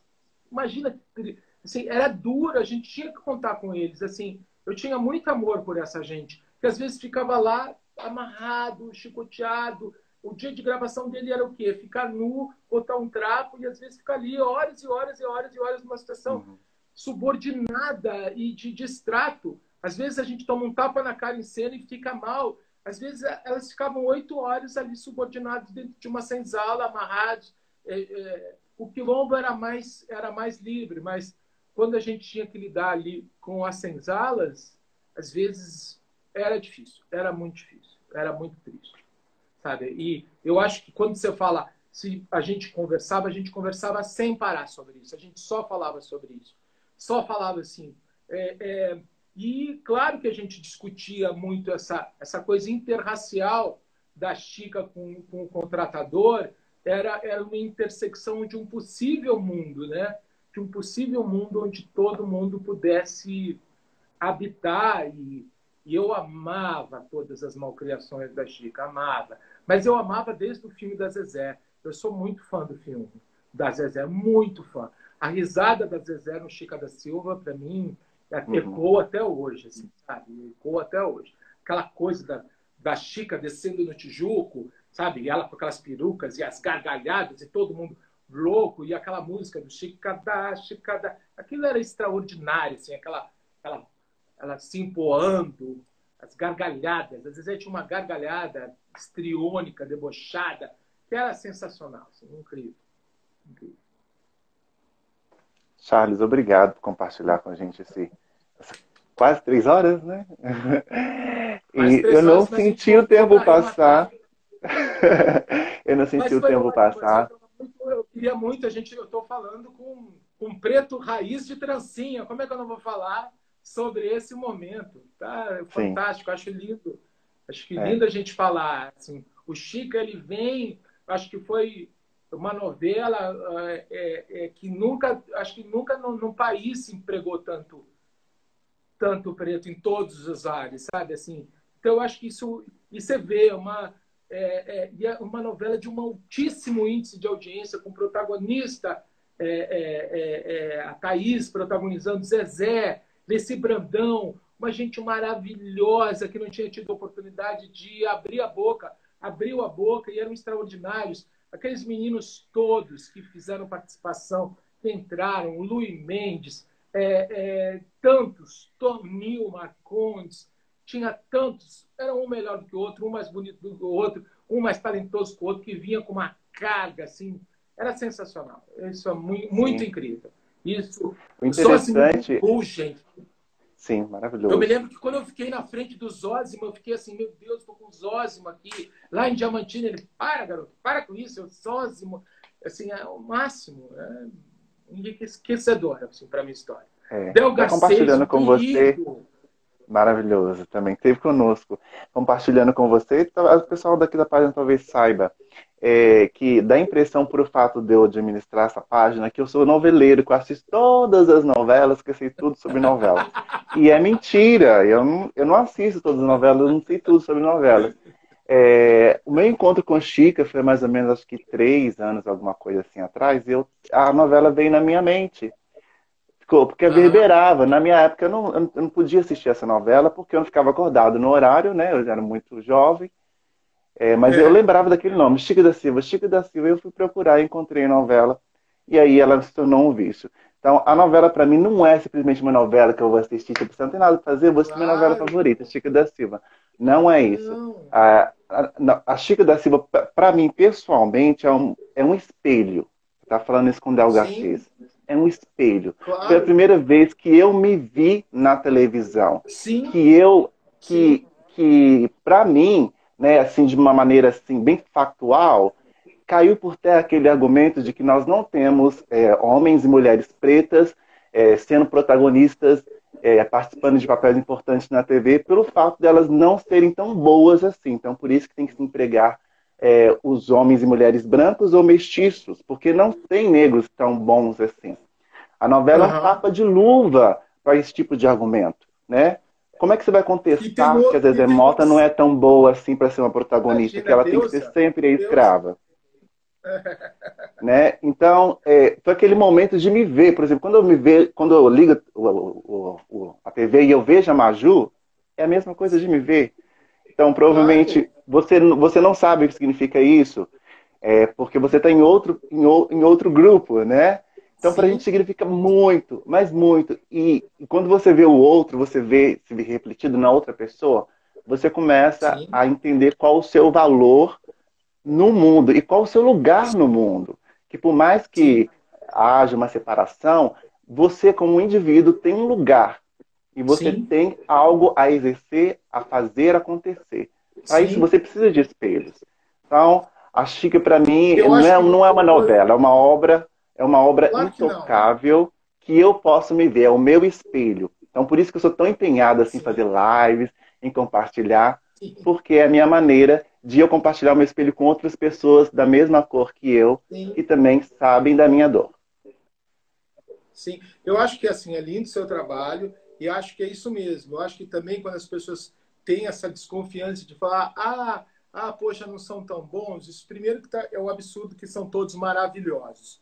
E depois o seguinte, olha a quantidade de treino que nós tivemos. Então, mesmo quando a gente é muito ruim, a gente tem tanto treino, porque oferecem o triplo ou quadruplo de papéis para a gente que a gente começa a consertar. Então, assim, claro, tem que dar muito trabalho para melhorar os que não são tão bons e os que são já maravilhosos tem que estar tá protagonizando sim, tem que ser espelho sim. E eu acho que é isso. Eu acho que esse, o Chica, ele tinha que ser ele tinha que ser um lugar para espelhar em outras dramaturgias, outras teledramaturgias, porque o que acontece? Eu acho que é isso, eu acho que quando a gente fala de representatividade, é você mudar o olhar, é, é, como você fala, eu adoro ver a Maju, porque eu me vejo, eu adoro ver o Chica, porque teve um momento ali que eu comecei a me assistir e comecei a entender que, eu, eu que, que tinha alguém como eu ali. Então, eu acho que quando você se enxerga você não se sente só. É, quando você se enxerga no outro, você não se sente só.